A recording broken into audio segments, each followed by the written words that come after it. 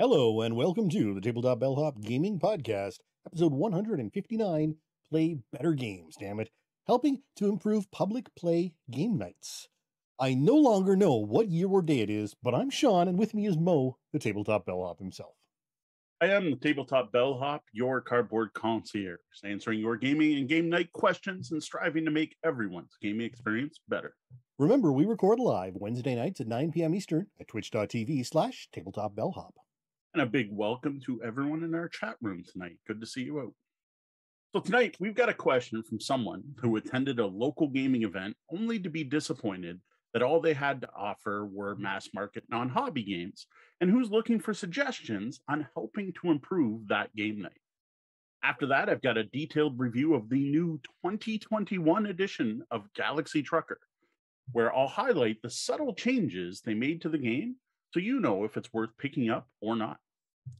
Then in our week in review, I've got first thoughts of, on Lost Ruins of Arnak, our first unlock game, and more thoughts on Disney not Disney Villainous. I wrote Disney Villainous, sorry, Disney Sidekicks, and a return to a classic party game, knit Nitwit. Welcome to the suggestion box.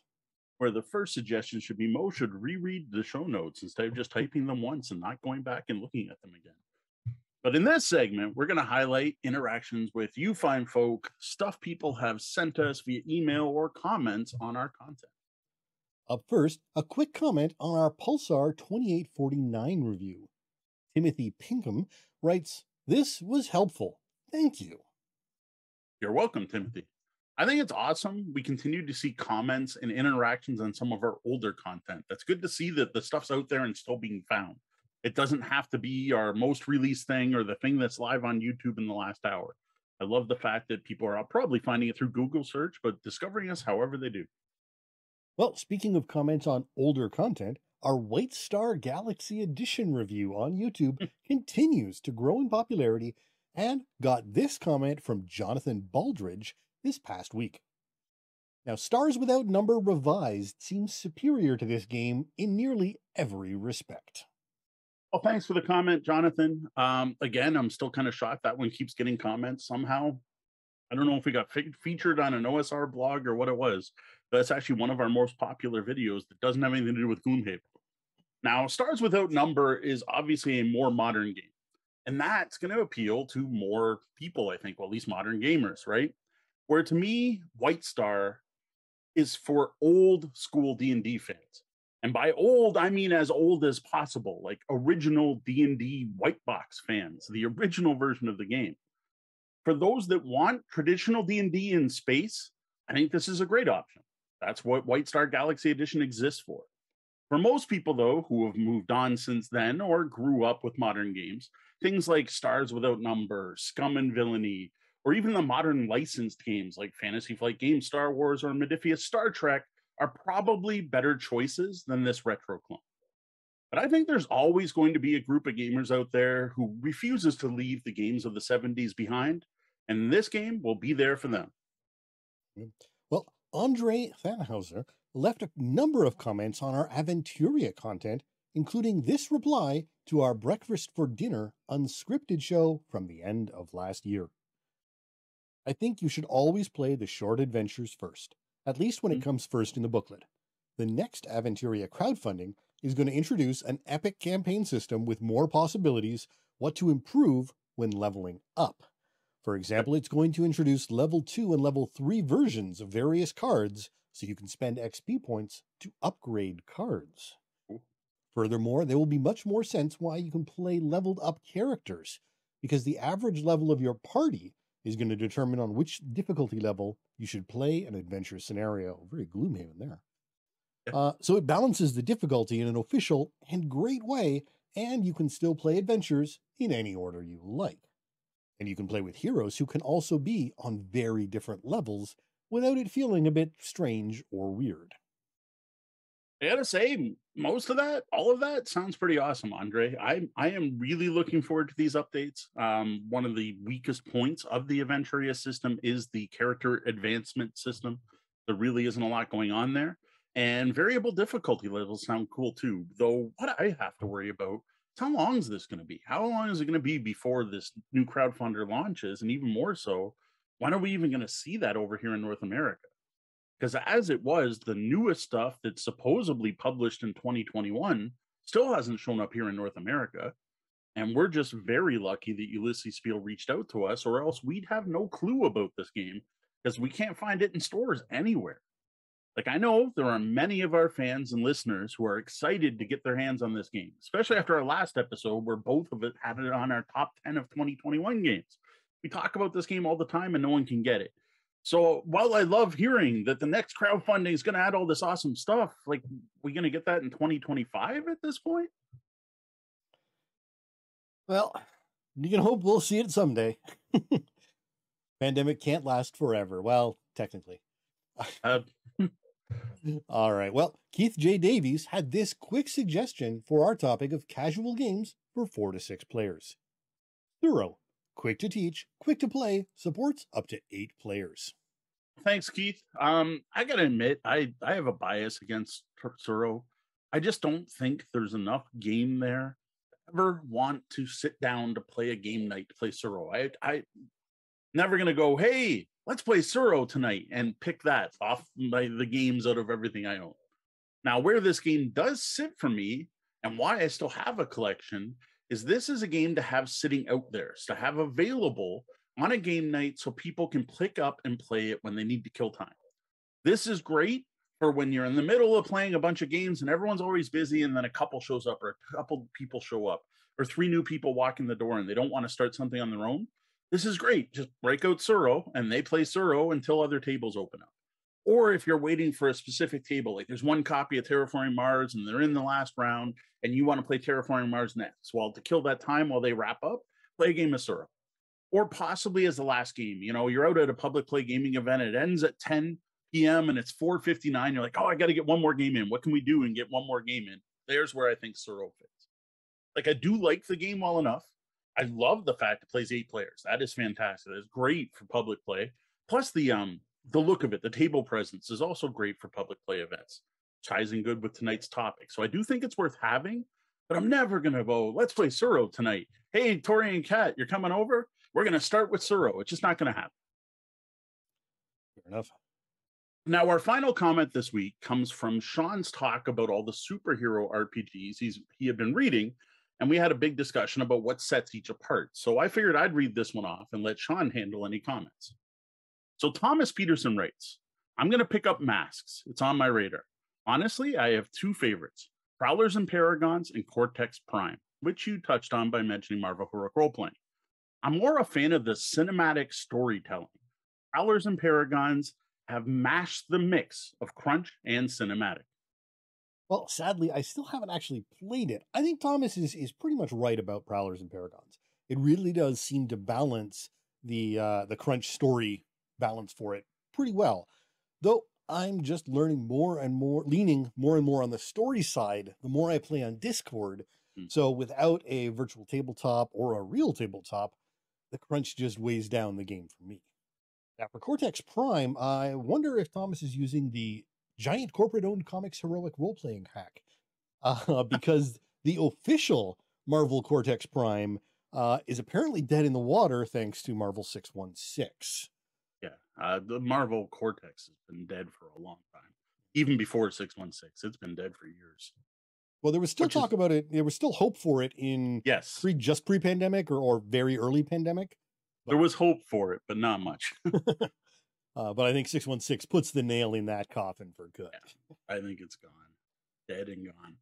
And 616, what I've seen about it, I don't know about that. I know. Not I, looking encouraging. No, it's an it's a mass market RPG. I think is yeah, but of... using a really funky dice system that just isn't mass market. That's why it doesn't feel mass market to me. Yeah, I don't know. I it's gonna be interesting. I don't know if I'm going to pay for a to playtest for them. Well, so yes, there is we'll, always uh, that. We'll see. That is something that that's a hill I will die on. I refuse to ever pay to buy a playtest copy of a game. That's not to I don't care how collectible it gets or how shiny the cover is or whatever they want to do.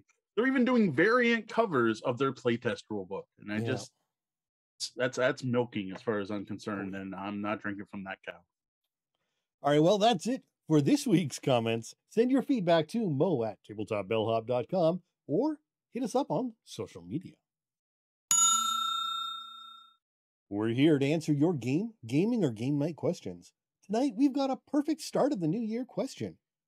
Bill Hatfield, longtime fan of the show, contacted us on MeWe to say, Okay, Moe, here is a question for you. My local library is running some game nights in my area. I intended the one I attended the one in September December, and they have three more planned, one for January, one for February, and one in March. They mostly had games like Scattergories, Monopoly, and other mass market style games that you can pick up at your local stores like Target and such. They had a couple of hobby games like Sushi Go Party, Timeline, and one or two others. Needless to say, I have a bit more exposure to games than the group running the event seems to have. I thought about bringing in some simple light games to see if more people would be interested in newer games instead of the same selection I saw there in December. I was thinking of games like Tsuro, Camel Up, perhaps Love Letter, but I don't know if I would be stepping on toes since this is obviously library people who are hosting and running the event. You have suggestions for how to broach the subject with them about demoing new games without sounding like a know it all?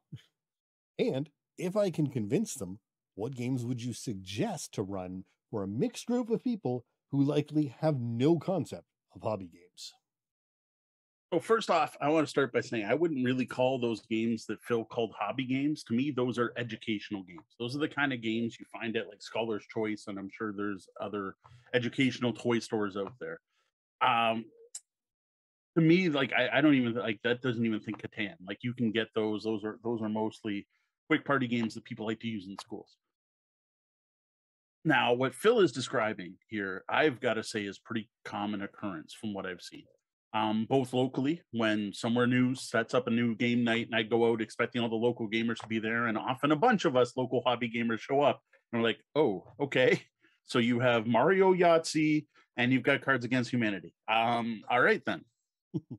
um, it, it's a it's a common thing, and I see people complaining about this all the time. Um, Board Game Geeks uh, forums on Board Game Geek Facebook, the Dice Tower Facebook, pretty much anywhere where a bunch of hobby gamers have gathered someone has complained about going out to a local gaming event and not finding what they were hoping to find. It makes sense though, because board games are all over the media right now, and probably for the last three years. And lots of people are hopping on the public play bandwagon. Now, this includes libraries, but also schools, clubs, organizations like the local legions, cafes, coffee shops. Everyone's like, oh, board games are popular. That's how we'll get more people in. Let's have a board game night.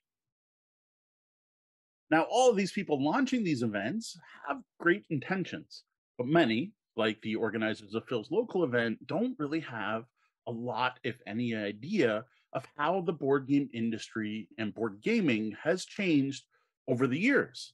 And I'm totally with Phil here. It can be a shame and rather frustrating to show up to one of these events and just see I'll, I'll, say it's some terrible games like mass market favorites and and like like they expect monopoly to be a good game but it's a two hour game night. Like you just see a lot of disconnect from what these people expect the event to be and what they're offering to make that event what it is.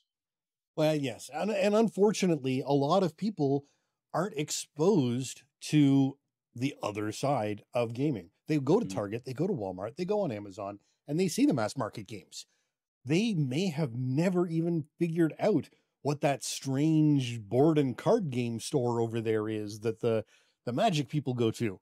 Uh, mm. They may have never walked in there and learned that there is this whole other world of board games out there. Uh, so that's why they should listen to our podcast at. there you go. That's what we're here for. But now, unfortunately, there's a huge chunk of missing information here.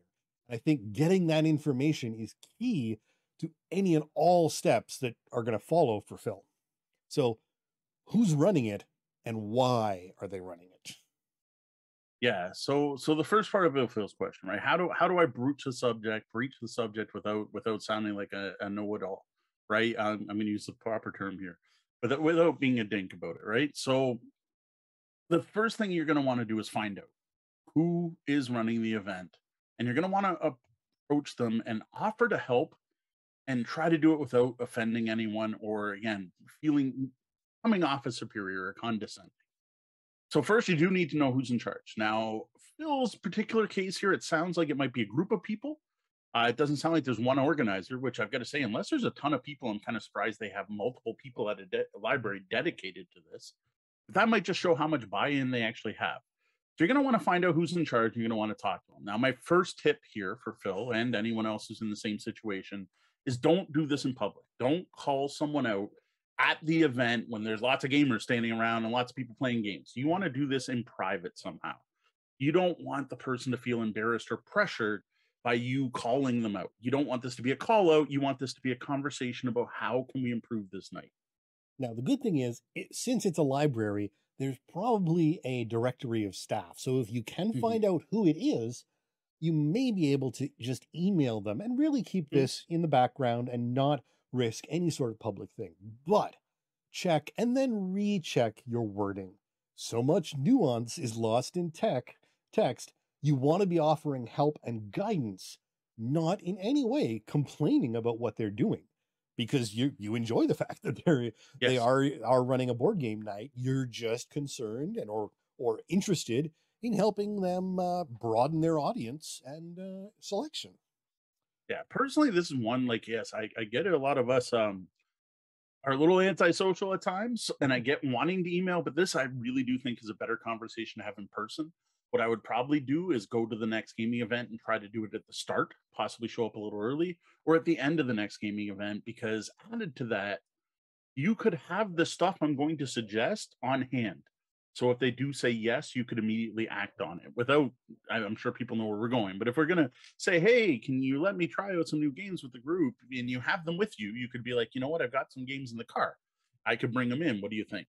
I just think it's going to go over better because the biggest problem is uh, Facebook, social media, Twitter is a perfect example of going and going, "Hey, I think I can bring better games than you have," and the person taking that as, "What you mean my games are garbage?" And and you don't want to get to that point. You don't want it to be adversarial or confrontational. Now, in this conversation, you're going to want to let them know who you are, right? Hey, I'm Phil Hatfield. I'm a longtime gamer. I've been into hobby games for years, blah, blah, blah. Just a bit of background and I came out to your event and I had a good time, but I was just wondering if you'd be interested in doing some things a little bit differently. Because that game night was great. I don't want you to change a thing, but I would like to add to it. So again, Sean mentioned this earlier, and I think it's it's key, is don't tell them their event is bad. Like you don't want to come off as your event sucks. I'm here to fix it. No, you're not here to fix it. You're here to make things better point out the advantages of making things better, the advantages of more modern games. There's some things people don't realize about modern hobby gaming that goes way beyond interesting new mechanics. Things like most modern games have a time limit that is pretty accurate. Now, I don't necessarily say go with what it says on the box because we all know that can be off. A board game geek's a great place to find proper times. But if you're showing off games, you tend to know your time limits. You know how long games last one of the biggest problems with a lot of mass market games is they don't have a definitive end or their end can get extended. You sit down to play a game of Monopoly, and I'm probably going to pick on Monopoly a lot tonight, though that's not necessarily intentional. How long is that going to take? You don't know. It is very much based on the luck of the dice and how players play and whether you use the full rules or not. Monopoly, Whereas, Monopoly especially being the one yes. where uh, just trying to get a group of people to agree on a rule set for Monopoly yes. uh, is probably a uh, quest on its own. Very true.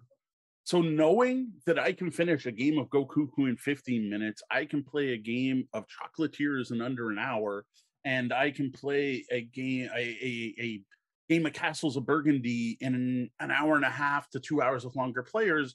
You can better pick games that fit the game night and schedule them. Even a game of Yahtzee, you never know how long that's going to take because of the random rolls. Whereas most modern hobby games have very distinct time limits that are usually based on the number of people playing. You're probably not going to have a time time to get even fourth edition Twilight Imperium in at the library. No, unlikely unless it's some kind of marathon gaming night. But know that, right? You can find the information. You can find out the Twilight Imperium takes six to 16 hours or whatever it happens to be for the new edition. Other advantages are higher player counts most mass market games play a family of four. They're designed for your standard family of four. And you're kind of stuck with that without playing two copies. Yes, there are examples that go bigger than that. And while yes, you can technically play Uno with 12, it's actually designed for four and actually does work a little better with lower player counts. So higher player counts are often available. You've got stuff like Sushi Go, which was actually already there, but that plays a high player count. There, there are lots of games that play tons of players, including throwing in like a werewolf or mafia that can play a group of any size. I personally think most modern games are more engaging than old school games because everyone is invested because of the strategy and tactics in them. So more people are going to be more engaged because you don't even care what you're doing, you care what your opponents are doing. When you're playing many mass market games, it's almost multiplayer solitaire. It's whoever can roll the farthest, whoever can get the furthest, whoever can get the hand of cards. I don't really care what you're doing on your turn. Just get back to my turn so I can roll the dice and move. Or You worse, don't get that as much. skip a turn, which is just Yes. Unfortunate for everyone. uh, things like player agency actual control over the game where your decisions make a difference. That is huge. That is what draws most people to hobby board gaming keeps us all coming back for more and more. The feeling that you did something you made a difference. And then when you win there's an actual sense of accomplishment or the feeling that you built something or you went on a journey looking at various different types of games. When you get to the end of a game of uh, snakes and ladders what'd you do to win? What was your winning strategy? Right? It just doesn't exist. And yes, some that that's probably an extreme example, but a lot of the mass market card game or board games and card games are like that. I had the best shuffle in Candyland ever. That's exactly. Um, educational. A lot of these games are a lot more educational and cover topics that mass market games don't. If you are a library and it happens to be Black History Month, bringing in a copy of Freedom: The Underground Railroad is an awesome way to provoke, prevent, uh, promote the month. To better get people talking about topics that are easily avoided, and to get gamers in, and like it just it, it's a win-win in a way, especially at a library. And that can expand to anything. There's a there's probably a board game for pretty much every historical period, but also once you get into literature, there are Arthur card board games like Shadows over Camelot. There are there's millions of topics. I'm not going to stop trying to call out specific ones off the top of my head, but you can probably tie your game night to the library way better with a hobby board game night than a mass market game night. Also, some of the mass market ones are terrible. you might want to have a Winnie the Pooh board game night, seeing as he went into the public domain. You're not going to have much luck there. Yeah, I th- although I have to say, I, I feel like I had a Winnie the Pooh board game growing up. I vaguely remember. I, there has to be a spinner based, probably Disney branded. oh, I'm sure. I'm sure it was Disney's Pooh. I'm sure it wasn't uh, Milne's. But uh, yeah, So the other thing that having these games out is is to me they're better games, right? You're going to get people are going to come out, play these, and want to discover more, so they're going to come back for more. You're also going to get different people coming out. When you have a public play event, you have games like Monopoly and Scrabble and categories. You are going to get casual gamers who like just want something fun to do for the evening. Whereas you start bringing out their Catans and get up to levels like Power Grid, you're going to start getting hobby gamers out that are there to play the games, not just to socialize. So you're actually attracting a different audience. And you're also bringing in people who are passionate about games. So you don't just have a bunch of people sitting around, you have people in there who are engaged, energized, and having fun, which is just going to make the game and the events more interesting for everyone else there, right? It's just the energy in the room. If you walk into a, a room where a bunch of people are playing euchre, like a euchre tournament, versus you walk into a hobby game night with pack, like one of our extra life events, the vibe is very different. you do want to be careful though. And again, this goes to not trying to uh, overwhelm them or, or indicate that they're bad. There is a reason to have market mass market games Yes. there. Uh, Mhm. Having mass market games there allows the people who aren't hobby gamers to feel a level of comfort when they walk Mm. in. Someone who's not uh, a, a gamer, a hobby gamer, uh, can walk into a room and see people playing Catan or you know Galaxy Trucker or uh, you know any of this these these strange games and get overwhelmed easily. Mhm. But if they see a box of Monopoly sitting there, even if it's not being played, seeing some games that they know and understand and are Mhm. familiar with can really comfort them. And maybe they'll sit down and play some some categories and then you can someone can talk them into another game. Hey, you want to come join us over at this game here? You know, you want to come play Go Cuckoo? Sure. Yep. Uh, and and and ease them into the other scary games that they aren't used to. And uh, this kind of goes with what I said earlier about how you want to build on the existing event. You don't want to replace. You're not here to fix. Mass market games are mass market games and sold in the biggest stores in the world for a reason. They are popular. People do enjoy them, and I'm not saying they're terrible except maybe Monopoly. I might be saying that just a bit. Terrible for a public play event either way. You don't you don't want to rip off the person you've never met before in a bad deal and have them lose and be mad at you when you don't even know them. Not a game you want to play in public for many reasons. But overall, yes, have the mass market fair. Always have of cards. That is probably my number one. Have of cards. There are so many different games you can play with of cards. Now, maybe as the hobby gamer, you might want to show people some interesting new ways to play with of cards. But have of cards. Of cards are fantastic. Have rolling moves. Have have sorry, trouble, um, snakes and ladders for younger kids. Though I can't see any adults playing it. Have those kind of games people are used to because it's going to make them comfortable. And even then, don't pressure people to try the new ones. If they're happy playing that, let them be happy playing that. Yep, absolutely. Now, another thing to suggest for Phil is to make sure that you can show how you can help. Like not just hey your game night sucks fix it right? That's not what you want to do. And i already say you don't want to say your game night sucks but even like you know what would be great if you had some more hobby games. I think that would make the game more entertaining for everyone. Thank you. I really hope you have some next week right? That doesn't help you want to be able to show how you can help for one and i think most hobby gamers can pull this one off you know what next week next time next month let me bring in some games that i think your group will enjoy stuff that's just a little more complicated than what you have here that I think is more engaging, stuff that'll keep players more interested. Or let me show blow your mind by bringing in this game that's like reverse pickup sticks that you have no idea how engaging it can be until you play it. Right? Offer to do that. Be sure to offer to teach these games. Um, tell them what you can do for them. Right? Like, please use my skills. I am here to try to make your event better. What can I do to help? That's an important question to ask. They put the suggestion notes there, but also ask, what can I do to help? Absolutely. And the other option is there are other games out there that are technically mass market, but more gamer games. You can get mm-hmm. into variations of Parcheesi or Nine Men's Morris mm-hmm. and and other games that, hey, you know what? This game is actually just like Sorry, but you know, yes. this has been around for ages. There's there's a bunch of different ways to uh to sort of broach things and and and sh- again, shift people uh ease them into the bigger world of games. So, what I would suggest too is starting small. Like, keep the format, right? Whatever format they have set up, don't change it for next month, right? Uh, whatever that happens to be, whether it's everyone shows up and they sign in and there's a list of games to play, whatever, whatever that happens to be, stick to what they have and then again build on it. You don't want to necessarily change it. If it changes over time, sure, maybe that's good, maybe that's bad. But don't go in expecting to fix everything maybe bring in one new game, right? Like a, a well known gateway game, like stuff that people may have heard of, like Catan's all over the news. I think pretty much everyone's heard of Ticket to Ride. Something approachable, but still a step above what most people grew up with. Offer to teach it during the show if enough people get interested. Or maybe go with something flashy, right? So it's simple and simple to learn that is totally going to blow people's minds. A great game for that for me is Ice Cool.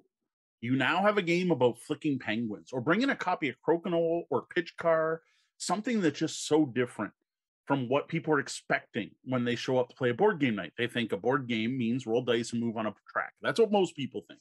As, as going to com- comic cons and trying to show off hobby board games, it still seems like the majority of people think that it's either trivia a party game where you have to draw or guess something, or you roll and move dice, roll and move upon. That's what most people have in their heads. When they show up and see a race car track where you're flicking little wooden discs, it just kind of blows their minds.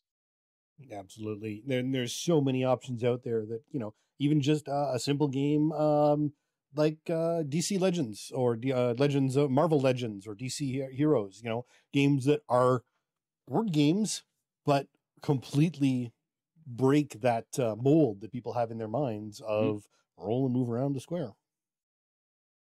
Now, another thing I would do to help show that you are adding value to their night is offer to promote the event to other hobby gamers, right? Because if you have these kind of games, so right, right, if you add some more strategic games, I know I can get the the people who hang out at Huginn and Muninn, our local game store. They they have an open game night on Wednesday. I bet you I can get half those people to come out here on a Friday, just because I know they're into these kind of games and they're always looking for new places to play their games. Be able to sell the fact that you're going to help them grow their event, not just with different games, but with different people. Now, do, however, be careful with promotion. It's easy to unbalance supply and demand. You don't want to suddenly get all of the hobby gamers from the local game store piling in one night when you're just bringing in maybe a couple of your games to get things started. Mm-hmm. Everyone gets bored and no one comes back. Yeah, very true. Uh, this goes to something else. Like this is more running a game night, public play game night, which I didn't really get into a, a lot. I don't really want to get into a lot tonight, but you don't want to scare people away. And again, don't force people. Uh, this is one of the things. There's an awesome interview with the owner of Snakes and Lattes, who said when they first opened the store, it was hobby games and like the Monopoly Sorry Go shelf. Now it's Monopoly Sorry Go and hobby games because that's what people want when they come to the store. And when you're running a business, you have to give people what they want. Said 90% of the people who walk in didn't plan to sit down and play games and think all night they were happen to be wandering by or like, oh, let's go play a couple board games, have a coffee and a snack. And those kind of games are where your mass market games fall in. And you don't want to try to pressure people. Now, what you do say is maybe have a section say, if you like this, you might like this, or something like that. You might want to have, but in general, you don't want to pressure anyone or to make them feel insignificant, stupid, or inferior for liking different types of games. Games are games, it's a hobby it's meant to be something fun. If that's what they find fun, all the power to them. And it may be just a matter of you bring in a game you want to play, and maybe a couple of people get interested, and you play your fun game, a hobby game together, and people are interested. Uh, And maybe next week you bring a different game, and they ask, "Well, what about that other game you had last week? I saw you guys playing that, and it looked fun. Can mm-hmm. we bring that again next week?" That may be all it takes. Uh, of course, you do want to make sure that you are able to bring games in. They don't. Yeah. They may.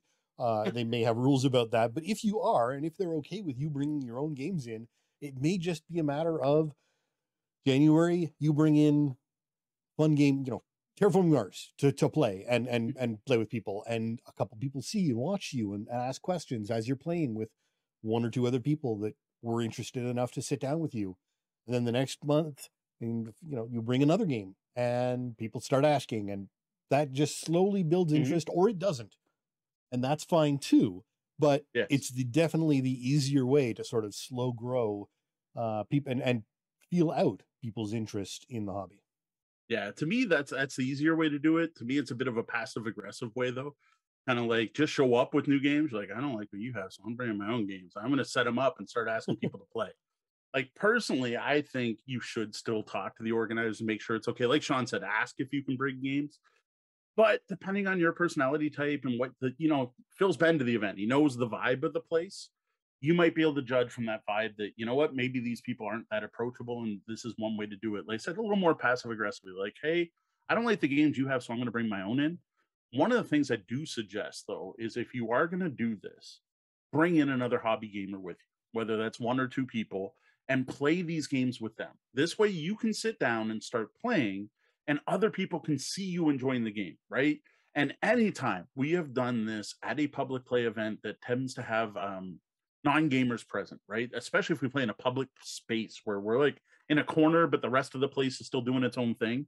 We always get people come over and go, What are you playing? What's that? And yes, they're going to say, Is it like Monopoly? Because that's what they say, because that's what they know. And they're looking for a basis of comparison you want to do that so that then when people do wander over, you're like, oh no, this is this. And you know, we're about done. We're gonna start another round. Do you want to play? And that's where I recommend you bring a couple people, like like leave room for people to join. So I probably wouldn't start with Terraforming Mars, and and that might be a March game to me. That that's a bit overwhelming with all the cards on the table and the hexes. There's just so much going on.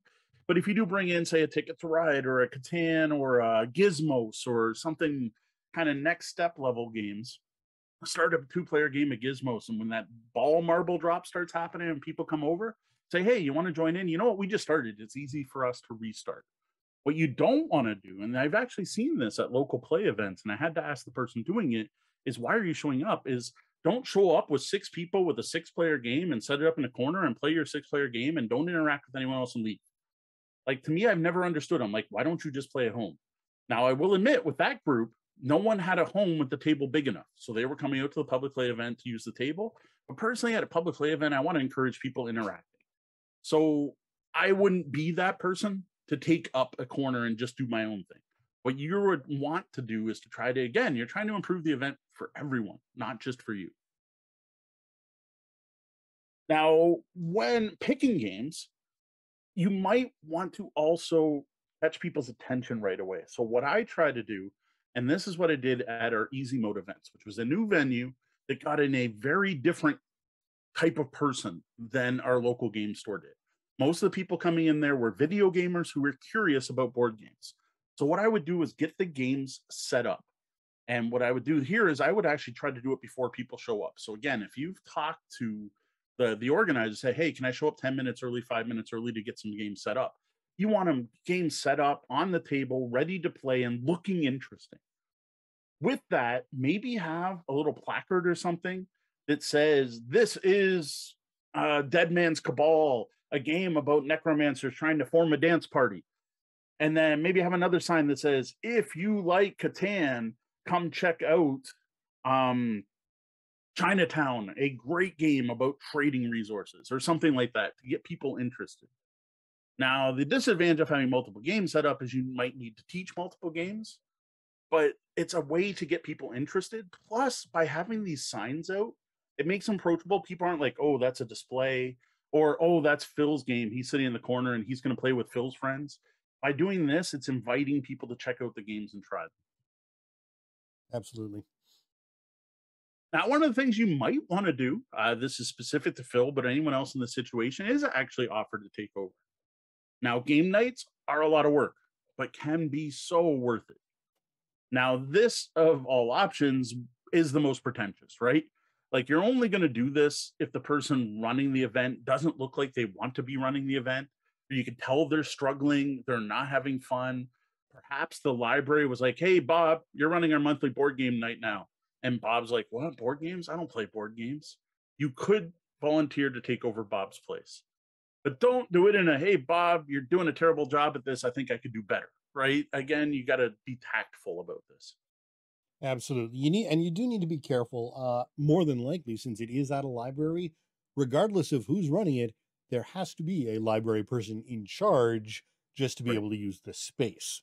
So there are there are definitely uh, liability and insurance aspects to that as well.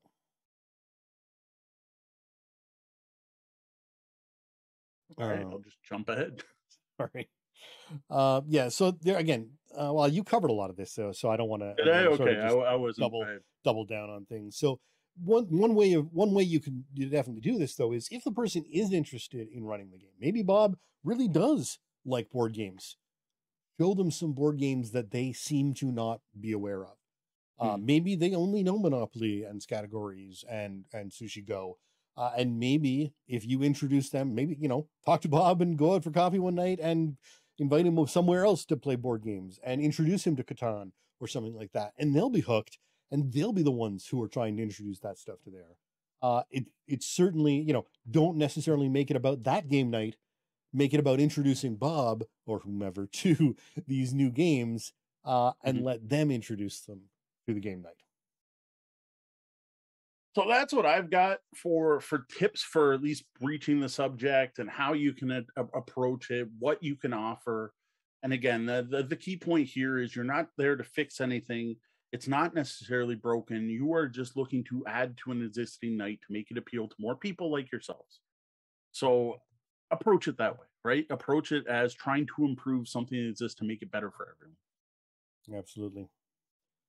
Now, as for the second part of this, Phil's part of it was what are some great games to bring to such events? So, this is something we've definitely covered before.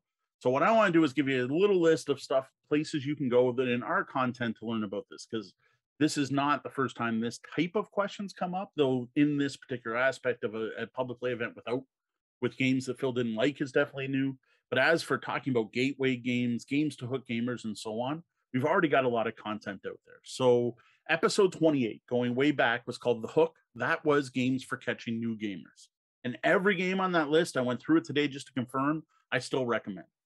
We talked about next step games from Catan in episode 42, Life, the Universe, and More Than Catan.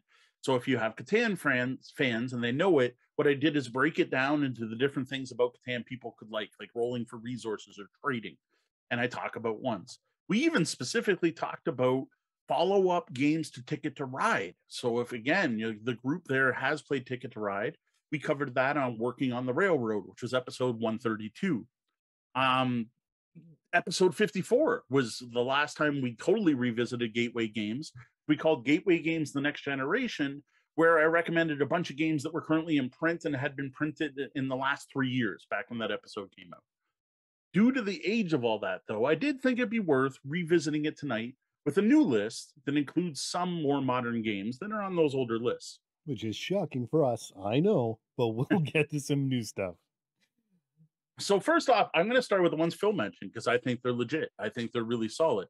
So this isn't going to help Phil out at all, but for those of the rest of you out there, Phil mentioned Camel Up. Camel Up. Uh, this is a great betting game that looks like a racing game.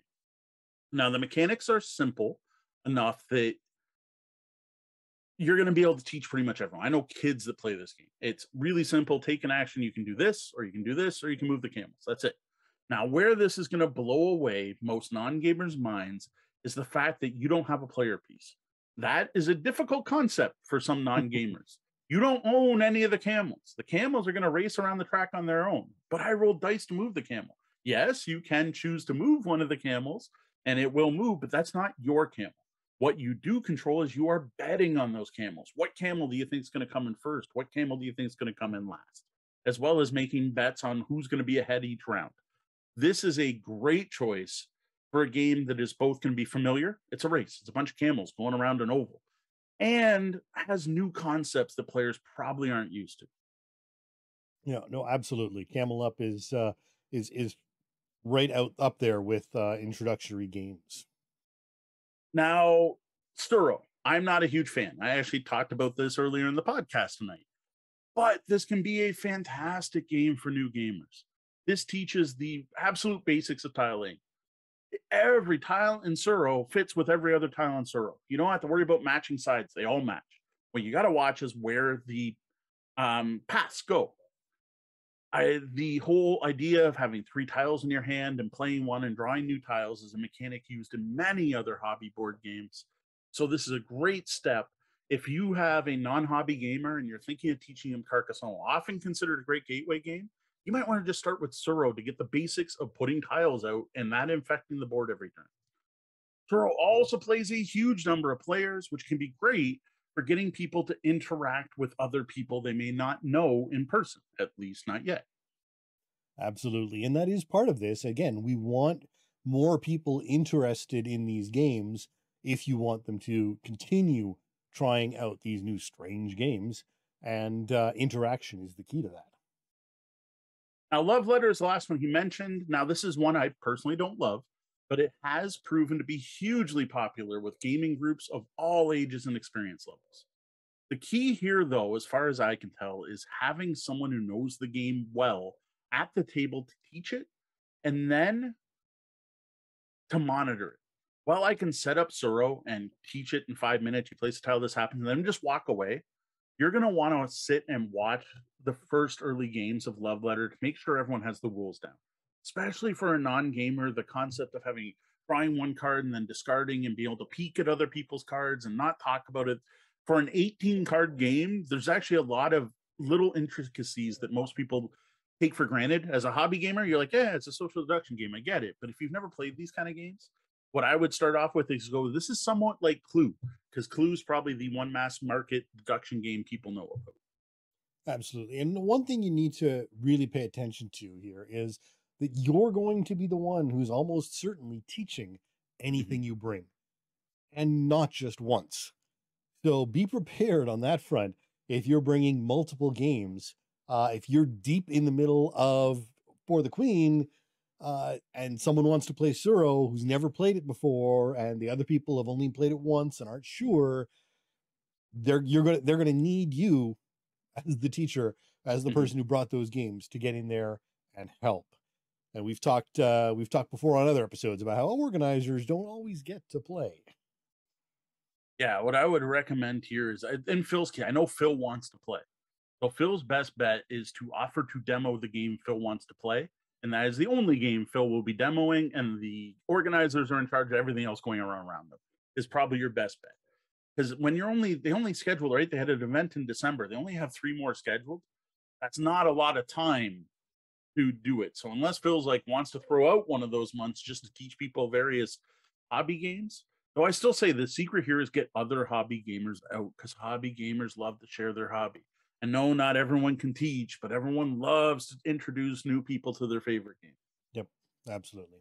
Well, now on to some games we suggest for getting people at a public play event playing more complicated games. All right, as usual, this list is in no particular order other than these are the order they kind of came into my brain when I was writing on the show notes. The number one game I have, I shouldn't even call it number one, the first game I have is Funfair. This is a card driven game where you're building a theme park. Now, most people are going to be familiar with card games in general, right? Shuffling, having a hand of cards, drawing cards, and playing cards are pretty common concepts. What you do have to watch for here is getting across the importance of building an engine. The thing is, Funfair is fantastic for it because of how well your engine building ties to the theme. You are going to build a roller coaster. You're going to add a loop to loop to it. You're going to add a big drop to it, and you're going to add comfortable seats, and you're going to have a washroom in the line. That all makes sense to the average person who's been to a theme park before. Oh, you're going to add a greeter at the door. That gets you more money. Oh, you've got someone who's cosplaying a costume character. That's going to get you more money. Because of how well the theme is tied to the game, I think Funfair is a fantastic starter engine builder card game. Absolutely. It is a great game for introducing hobby games and hobby card games, as both cards and theme parks are pretty universal Yes. concepts. And that just helps this game get learned that much faster. Now, the next one is a game on our list we used to talk about. It felt like on a daily basis, even though we were a weekly show, and that is Azul. Uh, in this particular case, I am talking about the original game, the base game. This is a now classic abstract strategy game all about drafting beautiful looking tiles and placing them onto your player board to match an existing pattern. Now, scoring in Azul is the one stumbling point I can see with new gamers, and I've actually had that problem with hobby gamers. If anyone at the table has played Scrabble, though, they should pick up on it right away because the scoring system is actually very similar, except for the bonus point. Now, the other versions of Azul are also worth considering, but personally, I think the basic game is the most approachable of the three Sor- er, Azul games. Yeah, I, I definitely agree. Stick with the basic and maybe have some scoring examples even printed out just, Mm. just to help reference, to have someone look for. I know they're there on the bottom of the board, but uh, those are not as clear as they could be. Next, I have the silliest game on the list, which is Go Cuckoo, a game from Haba released for Easter. This is, yes, this is a kid's game. This is meant for small children, but this is a great game to show off to adults that not all board games have to involve a board and rolling dice or trivia. This is a game all about pulling out um, sticks and building a bird nest and then trying to place eggs into that nest so they balance this game has great table presence, which is gonna get people going, What are you doing? I have never set up a game of Go that didn't turn heads unless everyone in the room had seen the game played before. And almost everyone who walks over is like, Can I play this next? It is such a great game. It is a fantastic kids game that I have had so much fun with with players of all ages. Absolutely. This one is a great one to slip in based on games they're already playing. They won't even realize they've moved to something that's more advanced as they're just having so much fun. We have even Yep. set this up in a back corner behind a streaming table on a chair for Yes. two of us to play quietly and still manage to get other people jumping in to play the game. Uh, thanks for the follow, new new 1000. And we will be getting to the comments. Our chat room is, is slowly filling in with game recommendations. We'll get to those shortly after we finish off our list, which we don't have much left. Next up, I've got King Domino. Now, most people, uh, dominoes, at least when I was growing up, I, I actually wonder if it's as prevalent as it used to be. But the concept of dominoes matching the edges of tiles to build a pattern is pretty ubiquitous. Now, King Domino starts with that, but then it tosses in a really interesting drafting mechanic on who gets to place which domino. And it is actually really brilliant. The, the turn system in King Domino is one of my favorites. And then you have a unique scoring system that's a little different that actually makes it an area control game. But those two combines are built on such a basic concept that I think this is a great gateway game. Now, one of the things that will happen is your first game, someone's probably going to be a little lost and score badly, but they're going to pick it up right away. And with how quick this game is, it's really easy to play two or three games in a row. Now, one of the things I do love about King Domino is that once you get people hooked on it, you can easily start adding in the expansion, specifically Queen Domino, which adds a lot more hobby game elements, like having an economy where you have to start earning money to buy for buildings and buildings that you can build into your empire and a little bit of engine building and even some take that with being able to send a dragon against someone else. To me, that is a perfect step into bigger, meatier Euro games just by taking your basic King Domino and adding in the Queen Domino elements. Yeah, absolutely. Uh, King Domino is probably the absolute easiest one on this list to teach people. The game just makes sense. I mean, dominoes are one of those basic things that we learn as as infants almost. Next, I have the most modern game on the list, something I couldn't have talked about in any previous episodes because it was just released this year, and that is Land versus Sea from Good Games Publishing.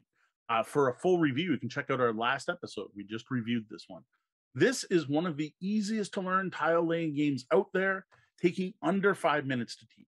No, it's not quite so simple, but I would say it's even easier to teach than Carcassonne. Now, that's just the basic game. It is a really dead simple place a tile, place another tile, try to complete areas. If you're land, you're trying to complete land. If you're sea, you're trying to complete sea. That's basically it. There are optional scoring rules you can also add that make the game more complex.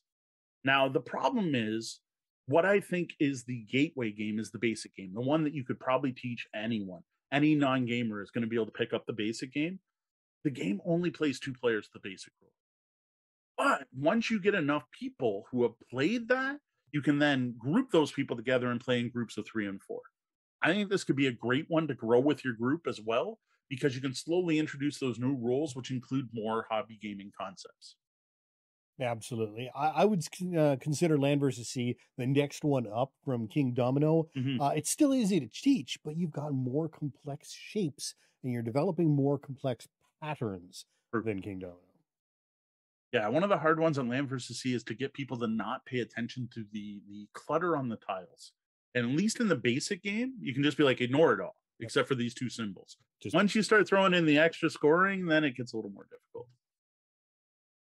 One of the things that I think is great for public play events is thematic games, things that people are going to recognize based on properties they enjoy. So, my next suggestion is Horrified Universal Monsters. That theme alone, these are the classic black and white movie monsters of yore. That is going to catch people's attention. Now, what I love most about this game is how simple the actual rules are once you start playing. They're going to seem overwhelming to a, a new player because there's four different things I can do on my turn. How do I choose? But once you start playing, it all just makes sense. And I personally think for a new group of gamers, you're going to play with one monster. I don't even know if the rules say you can play with one monster. I know you can go down to two. Play with one monster. Sure, it's going to be dead, simple, and easy to win. That's perfect when trying to hook people and for people just learning how to play more complicated games than they're used to. I'm sure your group will be up to three, four, maybe even five monsters in no time. Yeah, absolutely. This is probably the most advanced of the games on this list, but honestly, that's not saying much. No. Uh, it shares a lot of concepts with mass market games, and the topics and content are familiar to most folks, uh, yes. uh, much more so than train routes or European cities. I agree. Finally, I have the most oddball game on the list, in my opinion of Quedlinburg. Now, despite the fact that Quacks is very much a designer board game. Wolfgang Warsch. It's it it's in the hobby realm for sure. You're not going to find this one at Target. I find it's very approachable to new players as long as you teach it, making sure to tie the mechanics to the theme. Don't tell people, oh, there's a catch up mechanic where you add rat tails. That means nothing to a new gamer. Tell them that the players who are behind start to cheat by tossing in rat tails to thicken the broth. And they can get away with this because everyone's paying attention to the point leaders. That is going to get people like, oh, I get it. I'm be I, you're busy looking at Sean who's got all the points. I'm going to slip in some rat tails and cheat, which rat tails make the game easier to win. It is a catch up mechanic, but you don't have to describe it that way. The push your luck and real time elements of this game make it highly engaging and I've got to admit, even not playing this game, or you've already done for the round, watching other people agonize over whether they should pull more ingredients out of their bag or not is a ton of fun to watch. I have sat and watched people playing this game, no intention of trying it myself, and had a great time. Now, the one thing you do have to worry about here, specifically because Phil's talking about a library game night, is this can get loud. This can get very loud. And while most libraries want you to keep things relatively quiet, Absolutely. You can promise to be quiet, but when you pull that snapberry and your pot bursts and suddenly you get a little loud, even if it's just for a moment. So with these games, the, the, the three games Phil mentioned, the seven I just mentioned, that gets us to seven suggestions total, which I think is good for now. Because as I mentioned before, the concept of gateway games and games to hook gamers is a recurring topic on the show as it has been. So what I will do is I will provide links to not only where you can purchase these games, but I will also include links to all those previous shows and maybe some of our blog articles as well if you are looking for a more comprehensive list. All right, well now let's uh, let's head over oh. to lobby and see what games the lobbyists love. No, let's let's see what suggestions wow. the lobbyists had for this topic.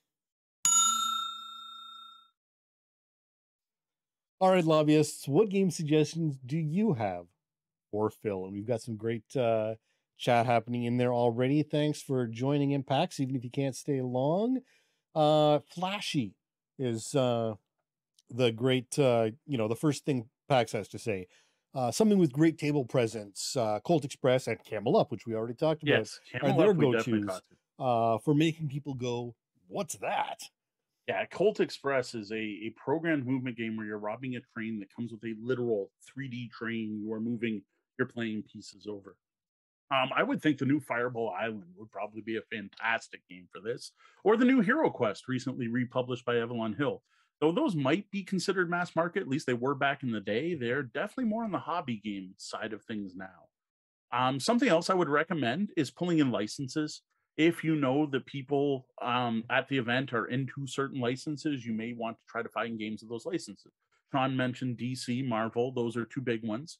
Uh, the Funkoverse games are use the you know silly looking Funko figures to do little bit battle games. We blew people's minds with that game at a Comic Con. Like they had no clue. Like uh, it's a game where you set up your figures and you're going to battle. Like there's different ways to play. It. You can play capture the flag or whatever. We were just doing a, a you know a, a, what do you got? Just beat 'em up, right? Last man standing. And we put it on the table. And the first thing the players always wanted to do was grab the dice to roll.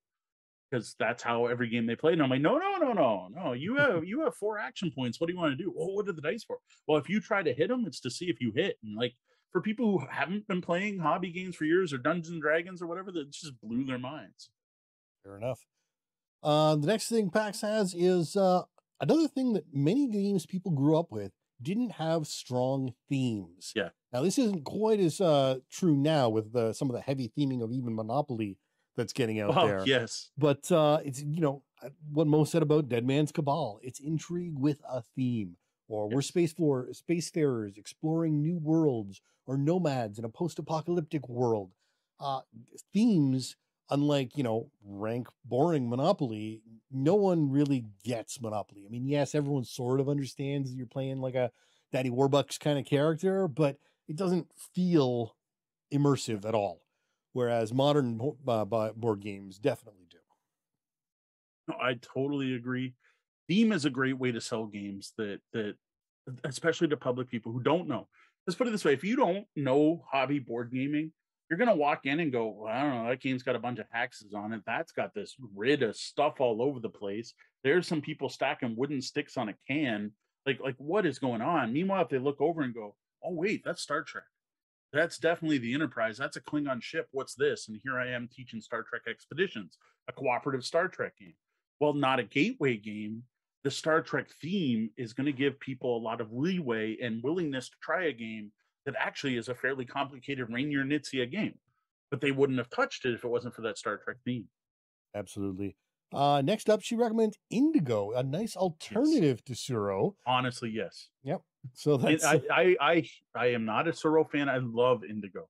The only advantage Tsuro has over Indigo is I can set it up and walk away because it's that simple, and it plays like eight players. I think it's a lot. It, it's eight or ten. Whereas Indigo is limited to four players only. Indigo is fantastic. It uses hexes to build your path, and you're trying to get gems to come off the board. But like you only score you and who's like you have two gates you score on, and whenever you score, it goes to two people. So it's like you're trying to help someone without helping yourself. Indigo is fantastic. I strongly recommend Indigo. If you're a Tsuro fan, go get Indigo if you ever play with less than eight people. There we go. And uh new new uh 1000, our our new uh lobbyist recommends Crane, Fractured Empire. Now this is a new one, just kickstarted this year. I think it yeah, only got into say, people's hands uh in October of this year uh, or or thereabouts. Uh, I think it's really only available on uh, crunchygames.com. That's crunchy with a K. Uh, it's a self-published game, but it's a intricate. Uh, it's a fantasy fantasy card game, deck builder sort. Uh, but they've really spent a lot of money on the art and theme of mm. the game, uh, and it uh, it isn't heavily reviewed in Board Game Geek, but the people who have reviewed it are definitely into it. Nice. Yeah, there's some uh, what beginner deck builders. There's a few out there, like Dominion. Dominion is the gateway to deck building for people who've never played a deck builder before. It is great for showing off how that system works. Now, most hobby gamers are probably sick the heck of Dominion and would rather sit down and play Clank or something a little more advanced, or Lost Ruins Arnak, which I'll be talking about a bit later. Dominion still stands as a hey, check out this new concept. And I mean, they do have games like Sushi Go there. So yeah. something like Donuts for Donuts, right. um, or even just playing something as simple as Haggis. Um, you know, again, these card games are so easy and quick and fun to mm. play and easy to teach. And again, cards are familiar. Everyone yes. sat down and played a card game of some sort. So it's an easy one to get uh, get people involved. Yeah, with. I almost I almost put diamonds on my list, but I put it on like every other one of those posts where I was trying to pick different games for this one, so we're not just repeating ourselves. Diamonds is to cards like spades or hearts or clubs, right? It's no one had put out a diamonds game. So someone sat down and decided to make a game with diamonds that actually plays up to six players. So you don't get a lot of trick taking games with six players. And it has a whole thing where there's these diamonds passing around, and it's the person with the most diamonds who wins. So diamonds is a strong recommendation because it plays with standard cards. Um, one of the things we did not talk about at all is role playing games. Uh, you mentioned For the Queen in passing, but I think For the Queen is a fantastic game to have at an event like this. Something that's past the stick improv role playing with some structure added to it. So it's not just free form. Rory's Story Cubes is more of a free form one that I think would also be great. And something like Dungeon Dragons Adventure Begins, though I didn't give that rave reviews, its pure improv, just make stuff up aspect is great for non gamers who don't need the structured rules, where you just roll a d20 to see what happens, even though whatever you describe doesn't matter. But getting people into that interaction and storytelling is fantastic. Absolutely. Uh, and then Mountain Papa mentions Space Base, one of our uh, recent favorites. That's a little you know tough what? one to introduce people to. It was it was on my list at first, and I took it off because even hobby gamers have difficulty with the way charge cubes work and what some of those powers mean. What I would be really tempted to do is to make a public play copy of Space Base where I hand a demo pick, version, yeah. Yeah, like I hand pick which cards can come out into the market and remove some of the more complicated ones that are like get five charge cubes and swap swap your six with your seven and also get two bucks and activate your card to the left, right? Like just take all those out, take out the you win card, take out the penalizes other player cards and just keep in the basic you get income, you get um whatever the three rules are. You get income, you get credits, or you get points. I mean, even the idea of income reset, you know, your your your credits resetting every time back to your income is, you know, there's some tough concepts in there for people who are used to Monopoly. Yes, it's it's close.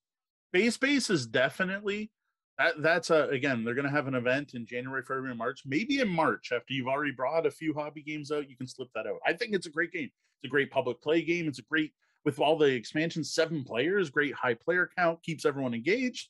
But when I think new gamers, I literally think again, people are used to roll and move, trivia, party games, drawing things like that. That's kind of the mindset of mo- and cards, like play playing cards. There we go.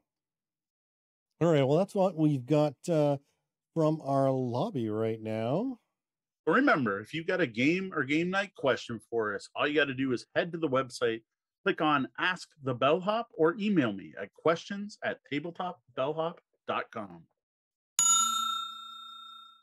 Welcome to a detailed review of the 2021 printing of Galaxy Trucker, including a comparison to the original. First off, I want to start by thanking CGE for sending us a review copy of this new printing of Galaxy Trucker to check out. The Galaxy Trucker was designed by Vlaada Chvátil and was originally published in 2007 by Czech Games Edition or CGE. Now, this new edition is still by Vlaada with some rule tweaks and features one of the original artists, Thomas Kaverici. I apologize if I got that pronounced wrong. This was also published by CGE in 2021. Features a much lower MSRP of only $29.95 US. Now, this edition of Galaxy Trucker plays two to four players, with games taking under half an hour for a standard game. Now, note the game also features a longer optional play mode called the Transgalactic Trek, which takes much longer as it's basically playing the game three times in a row. So, while many people may already be familiar and looking for the differences, what is Galaxy Trucker for those not aware? In Galaxy Trucker, you are playing space truckers working for Corporation Incorporated delivering much needed sanitary pipes across the stars. Over the years, Corp Inc. determined the cheapest way to do this was to have the truckers fly ships actually built out of sanitary pipes, the pipes they're meant to deliver. Now, the game is played over three rounds. With the first round, players build ships out of tiles in real time, adding things like modular housing units, hot water heaters, engines, plasma drills, and power centers and more while following some strict but easy to learn placement rules. Next, everyone goes through pre-launch where they collect crew, energy tokens, etc. to fill their ship. Once everyone has their ships built, they then go on a supply run where players encounter all kinds of interesting things like fun meteor showers, very welcoming pirates, abandoned perfectly safe space stations, totally uninhabited non-dangerous planets, and while there's that combat zone thing and a few other things you'll encounter along the way. Once at your destination, players are awarded credits points for things like the order you arrived, the delivery of cargo, and for having the most intact ship at the end of the journey. For a look at what you get in the box for this new edition of Galaxy Trucker, check out our unboxing video on YouTube. So this game comes with a fantastic rule book that is great for learning the game, that is actually designed to read at the table the first time you play, for playing through your learning game. Now, the components here will be familiar for fans of the game, though everything's been tweaked just a bit. Uh, there's new center boards, there's three-sided ship boards, plastic cargo cubes, a tweaked adventure card deck featuring new graphic design, and a ton of thick, well-cut cardboard ship tiles notably more than in the original game. Now, one notable new component you'll recognize are title tiles. These are something I'll be getting into in a bit.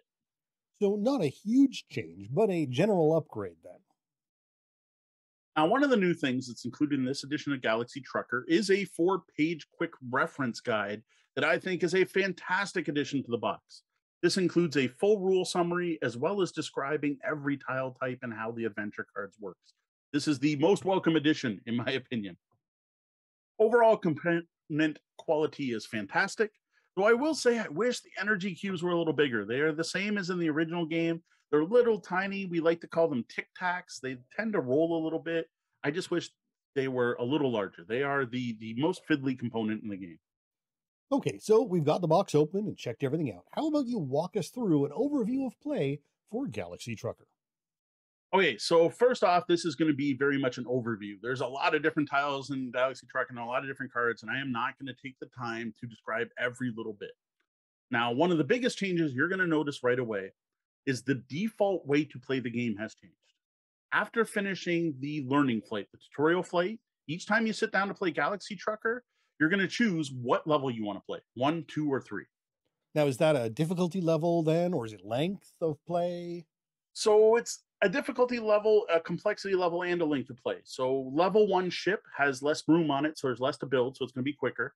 The adventure cards are simpler and easier to beat, and you're going to use less of them. And the um I'm trying to think of how to word this. Sorry.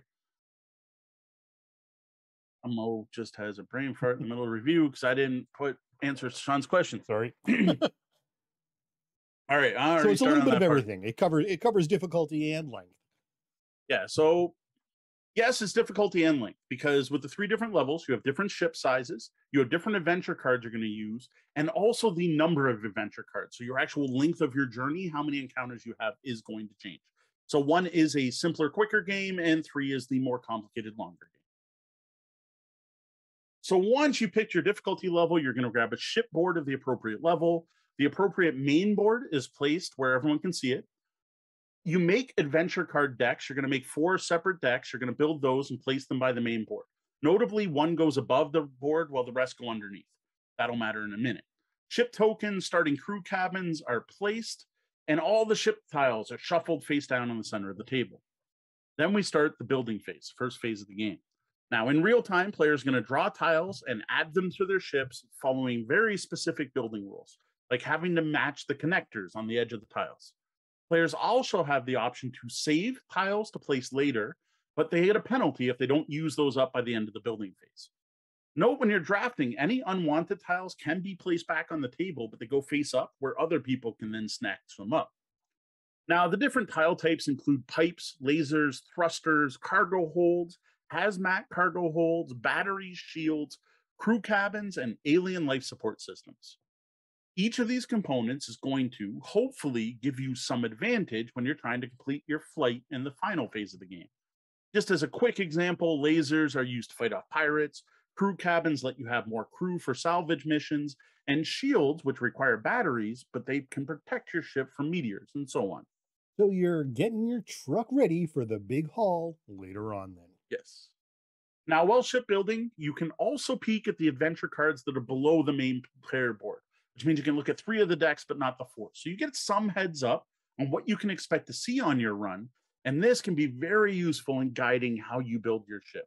It's hard to build the right truck if you don't know what you'll be hauling. And while you could look at all the cards, you'd waste time and everyone else would finish building well before you.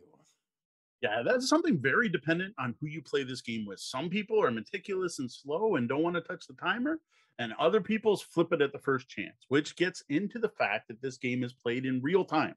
At any point during this phase, any player can flip the timer over for the first time. Then, when it runs out, anyone can flip it again. On each board, the timer can only be flipped to the last spot that's marked with an S for start by a player who's finished building. So that's one of the things where you technically can take as long as you want, but once someone finishes, they're going to flip that timer over and it has one more time to run out. And once it ends, everyone must stop building. Now, the orders players complete their ships in also determines your starting position on the main board, which is just a circular track that shows the relative position of the players in relation to each other. Round and round we go. Now, once all players have finished building their ships, you go through what's called the pre launch stage.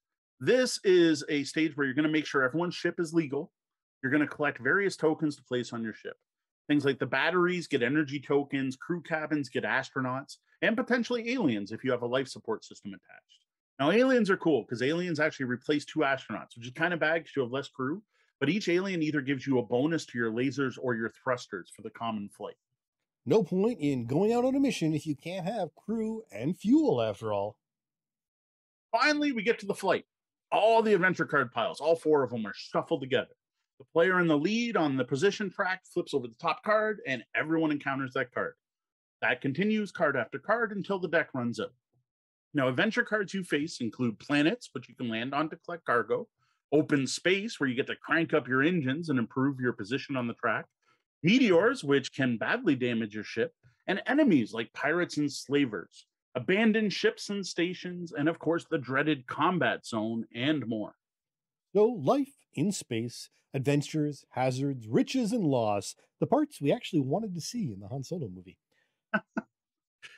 so, during during many encounters, your ship's going to be at risk, right? This is usually in the form of meteors or enemy laser fire. When this happens, you find out what direction the attack is coming from from the card. It'll show like small meteors from your right or a blaster shot from the rear. You're then going to roll 2d6 and look on your player board to determine which section of your ship would be hit by this attack. Now, different attack types can be stopped in different ways. Small meteors bounce off your ship unless it happens to have an open component showing at that spot. Large meteors, though, have to be shot down by lasers. Now, laser fire can only be blocked by shields, and big lasers, which thankfully there aren't many of, can't be blocked by anything, including shields. You're just going to lose a piece. Now, when a component is hit, it has to be removed from your ship. In addition, though, you now have to make sure that everything else is still connected to your ship. And if it's not, that whole section is going to be lost as well. And that can lead to quite the chain reaction. Lose a wing, and suddenly half your flight systems and storage are lost. Too bad, so sad. All part of the game. Now, things like planets, abandoned ships, and stations can be investigated. Now, doing so could cost you crew and always cost you time, moving you back on that position track. Now, the rewards are usually worth it as long as you can afford the cost, with most rewards, rewards being cargo cubes or credits. Now, cargo cubes must be stored in cargo holds that you built onto your ship, and hazmat storage is only able to hold, or sorry, hazmat goods can only be held in hazmat storage, though technically hazmat storage can be hold any good. Now I'll leave the rest of the adventure cards and the components for you to discover on your own. All right. Well, time to uh, go for discover the mysteries of the cosmos on your own space truck. Now, once you get to the end of the adventure deck for this flight, the flight's over. You've gotten to your destination. You are then awarded credits, money, and points, both being the same, interchangeable in this game. Players get points for their final position. First, of course, scoring more than fourth. Selling cargo cubes, with different cargo cubes being worth different amounts of money, with the hazmat ones, of course, being worth the most. And the prettiest ship gets award. That's the one with the least open connectors at the end of the run. Finally, players lose one point for each damaged component in the storage area of the board. Either stuff left over from when they were building their ship they failed to place, or stuff that got destroyed on their journey. Now, note, unlike the original printing of the game, there's no limit to how high this penalty can be. After taking that penalty, player with the most credits wins. Sell stuff and don't have gaping holes in your ship. Got it. Now, what I just described is the default way of playing Galaxy Trucker now. Now, this method of play is fast, furious, and highly random. Build the ship, go on a run, get points, done, game's over. Now, the rules do present another way to play, which they call the transgalactic trek. This method of play takes much longer and adds a brand new element to the game that did not exist in the original of titles. When playing a transgalactic trek, you start off by selecting a number of title tiles based on the number of players. Each title lists a goal for the players to try to accomplish during their run. For example, the freight hauler will be awarded to the player who has the most individual cargo hold tiles with at least one cube in it at the end of the run. Another example is the master engineer, who is awarded points to the players, who is awarded, sorry, to the player whose ship has the most components still left in it at the end of the run. Now, there are a total of six different titles, and you are going to use at most four per game. So basically, just achievement goals for bo- for bonus VP, like most people are used to in games. Yep, pretty much. Though there is some interesting stuff they did with these titles once you've earned them. So once you know what titles are up for grabs, you're then going to play a level one game in full, including all the rules I already described. Though instead of getting points for the most beautiful ship, you're going to hand out those titles. You're going to look at each title and give the title to the player who earned it. Now, it is possible for a player to earn more than one of these here, and each one's going to give the player two credits at the end of the first run. Interesting, once points are handed out, no one's allowed to have more than one title. So they then donate that title to a player who didn't earn one.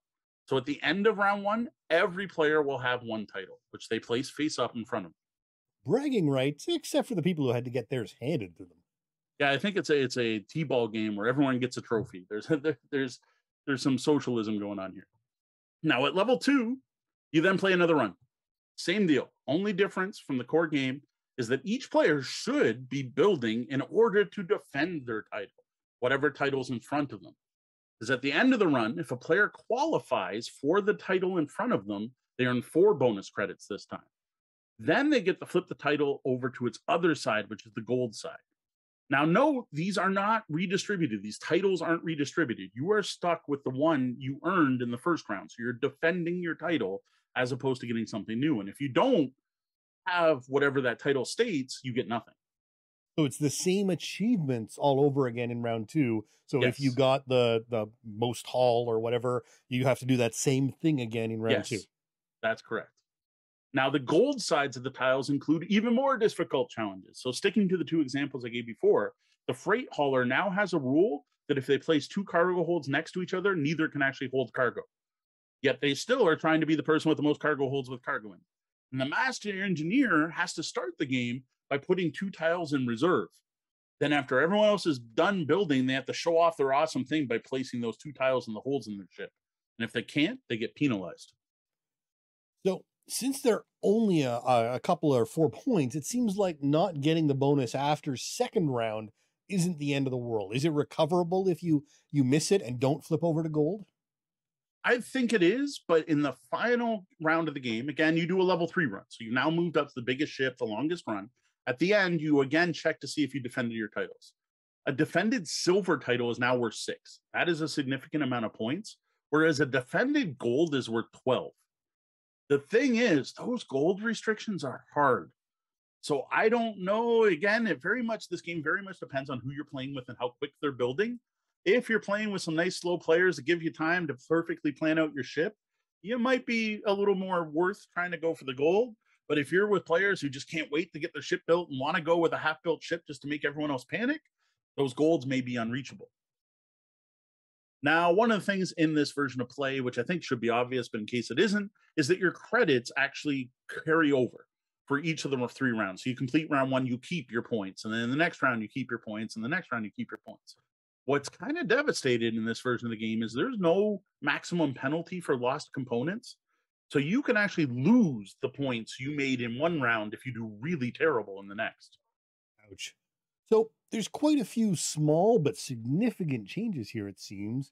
What is it you thought of this new edition of Galaxy Trucker, and how does it compare to that original from 2007? Okay, so I have been a fan of Galaxy Trucker pretty much since it was first printed. Again, 2007, I actually think I got my copy in 2008. That fact hasn't changed. I still dig Galaxy Trucker. Galaxy Trucker is one of my favorite games. I'm happy to have it in my collection. The 2021 printing of Galaxy Trucker does nothing to take away from my joy in playing this game. Now, the most noticeable change everyone's going to see right away is the new box size, the new box art, and the new price point. And I've got to say, I can't help but be happy with this. It makes a game I love more accessible to a wider range of gamers, and honestly gives me a better way to put it on my shelf because smaller boxes better when you run out of space. Certainly a bonus to have more people to play with for you and CGE. Very true. Now, another noticeable change that doesn't affect the gameplay is the new artwork and graphic design. Everything basically got a new coat of paint, and I will say overall, this is for the best. Even the various tokens have been upgraded. So the cargo cubes are now clear plastic and look a little cooler, whereas they were wooden cubes before. Uh, the higher quality astronauts and aliens, just everything's just polished up and a little bit nicer. And I noticed the uh, the box cover we've got up here uh, really pops more and stands out compared to the original. Yeah, I agree. And all of the art kind of has that, that more poppy, a little higher contrast, a little brighter colors. Now, one of the most significant design changes is the addition of the two-sided main boards. So instead of one main board that sits in the middle of the table, never changes, and you put a tile over it for what era you're playing, this actually changes depending on what round you're playing. There's different amount of spots for the hourglass. The actual track is different for how many spots are on it where players start in relation to each other, depending on where they finished, also changes. Now, part of that's pretty big, right? Because in the old game, when you finished building your ship, you had a I don't know what you call those games, but one of those games where you had to grab a tile before anyone else does. They removed that. When you're done, you say you're done. You pick up your ship, you put it on spot one. Then the next player says, picks up the ship and puts it on part two. I really dig that. That is a very welcome change for me. Yeah, mad grabs are rarely an elegant mechanic. Now, the shipboards themselves have been redesigned. What's really impressive is they're significantly smaller while still giving you a full size grid, like the same size grid. The actual squares you're putting your tiles on, size has not changed. Now, as for the ships themselves, the level one and three ships are original, identical to the original, no change at all in number of tiles or where they go. The level two ship, though, is actually two squares smaller, and there's no level three B ship. That was the one that kind of looked like the Enterprise that was in the original game that you actually put horizontally instead of vertically, or sorry, vertically instead of horizontally. That does not exist at all. Now, while I admit I liked having four ships versus three, like that's just I get more content. I have another ship I can build. I do understand that removing this option is part of what kept the price point down because now you don't need a separate player board for that other ship. Now, the nice part though is due to the fact the grids are the same size, I don't see a reason you couldn't use the original ships or any of the expansion ships or any of the ones people have put out as downloadable content with this as an expansion. So mixing and matching between sets is workable for those who choose to and happen to have access to all that content. Exactly. Now, another change with the ships I already mentioned is that there's no longer a maximum penalty for destroyed parts. And as I've said, this, excuse me, as I've said, this is a significant change that encourages players to build better ships, which is a nice offset to some other difficulty tweaks in the game. These difficulty changes come in the form of the composition of the adventure cards. While the cards are almost a one to one match from the original with exactly the same distribution of cards, there's just as many meteors, just as many pirates, just as many planets. There are some very small tweaks that it took me having to put them side by side to notice. Now, in particular, one planet now gives better quality resources, and almost all the meteor cards have been modified in both the number of meteors, the size of the meteors, and which direction they come from. Overall, in this new printing, there are less meteors than the original edition. Now, this does have the effect of making this new edition feel slightly easier than usual, the original, with ships finishing runs more intact than I'm used to. So it was noticeable enough of a change for you to pick up on. I mean, you you pointed that out Yeah. the first time you played. Um, do you think most people would notice that? Honestly, it depends how much you played Galaxy Trucker and how good you were at. Because when you play Galaxy Trucker the first time, you just build a ship and you've got open connectors all over the place. You very quickly learn that outside open connectors on the outside of your ship are terrible because small meteors only take out an open tile. So one of the first things you're going to learn to do is make sure your outside edges are all safe. Then you're going to learn things like, you know what, it's 2d6 and the number seven's what's going to get hit most often. And I want to make my valuable stuff out at the threes and fours. Or, or sorry, the threes and whatever, eights or whatever's on the far end. I guess it'd be the nines. Threes and nines would be the opposite ends. Once you know stuff like that, even the original game gets easier. And it's like, I'm going through more successful because the small meteors don't matter to me. Well, this is even more true because, for one, playing with experienced players, you know this. Plus, there are now less meteors as well, so that when stuff does get destroyed, there's less chance stuff's going to get blown up.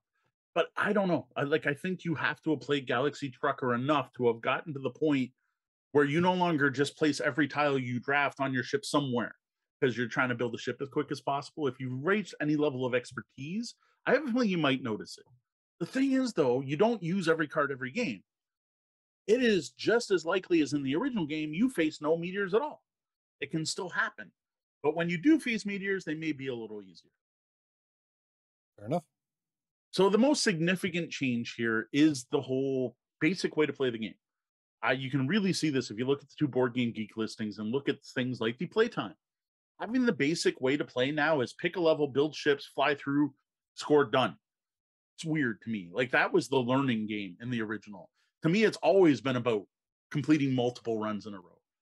Now, what they've done is they took what to me was a medium weight real time Euro and made it into a quick tile based shipbuilding game that could actually be a filler. That first learning run, we were able to finish in 10 minutes the first time, depending on how quick people build ships. This, in a way, though, is good because it makes the game even easier to learn than the original, especially with that super simple quick tutorial. Now, I think this is fantastic for new players and makes Galaxy Trucker more of a family game, a family weight game, making it approachable to more people. But this could be a big disappointment for long term fans. But they thought of this. They also gave you the transgalactic trek mode of play. A little something for everyone. Now, this transgalactic trek basically matches the old way to play the game with the new title rules. And I gotta say, I like the title rules a lot. This adds a new level of depth and strategy to the existing game. Having the tiles face up at the start has the bonus of giving players direction and adds a new level of player interaction because the titles are based on having the most of something. So, how you build your ship will potentially impact the score of other players. Previously in Galaxy Trucker, there was no way to chase the point leader. Now, if I see someone flip over their gold and they're trying to get the most crew, I can build my ships to make sure I have the most crew just to deny them. That was an aspect that didn't even exist in the original game. There's nothing like uh, hate drafting to build friendships. Yes. now, overall, these changes in the 2021 edition of Galaxy Trucker combined to do a couple of things. The first, the game's now more accessible to a wider range of gamers due to its lower price point, easier learning curve, and shorter game time. Second, this edition of Galaxy Trucker is also designed for long term fans, and the new Transgalactic Trek mode of play adds depth, direction, and more player interaction than even the original had. A more accessible game that also features more depth with optional rules. How can I complain about that?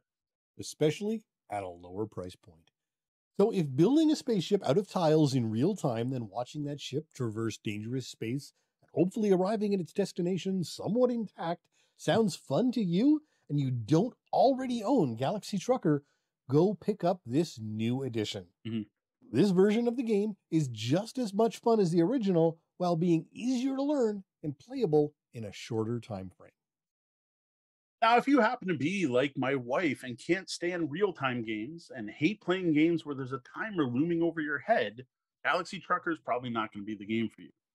Also, if you don't like games where you build something only to watch it blow up, you're also going to want to stay away from this one. This is all about watching to see what happens and finding joy in both success and failure.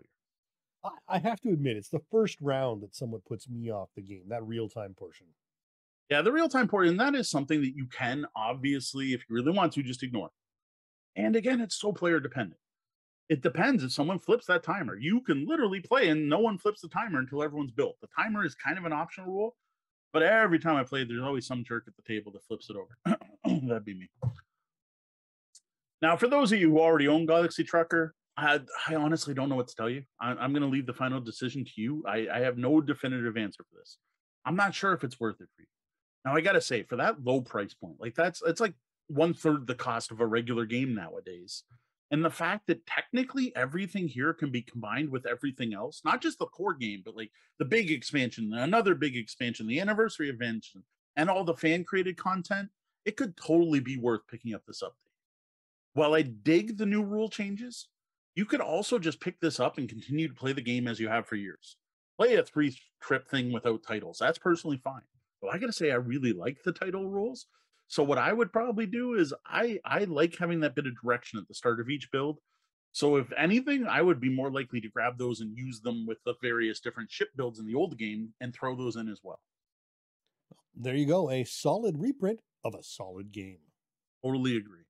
Now, what I plan on doing right now is keeping both copies, and they're going to serve two different purposes. This new edition is going to be my public play copy of Galaxy Trucker, where I bring it out to public events where I don't know who's going to be showing up and use it to introduce this great game to new players. But when playing at home and sitting down with experienced Galaxy Trucker players, I'm probably going to bring out the original game along with some of the big box expansions I've collected over the years. And I'm going to sit down and play a traditional game, but I am pretty sure I will be using the full Trek rules from the 2021 printing of Galaxy Trucker, including those title tiles. Fair enough.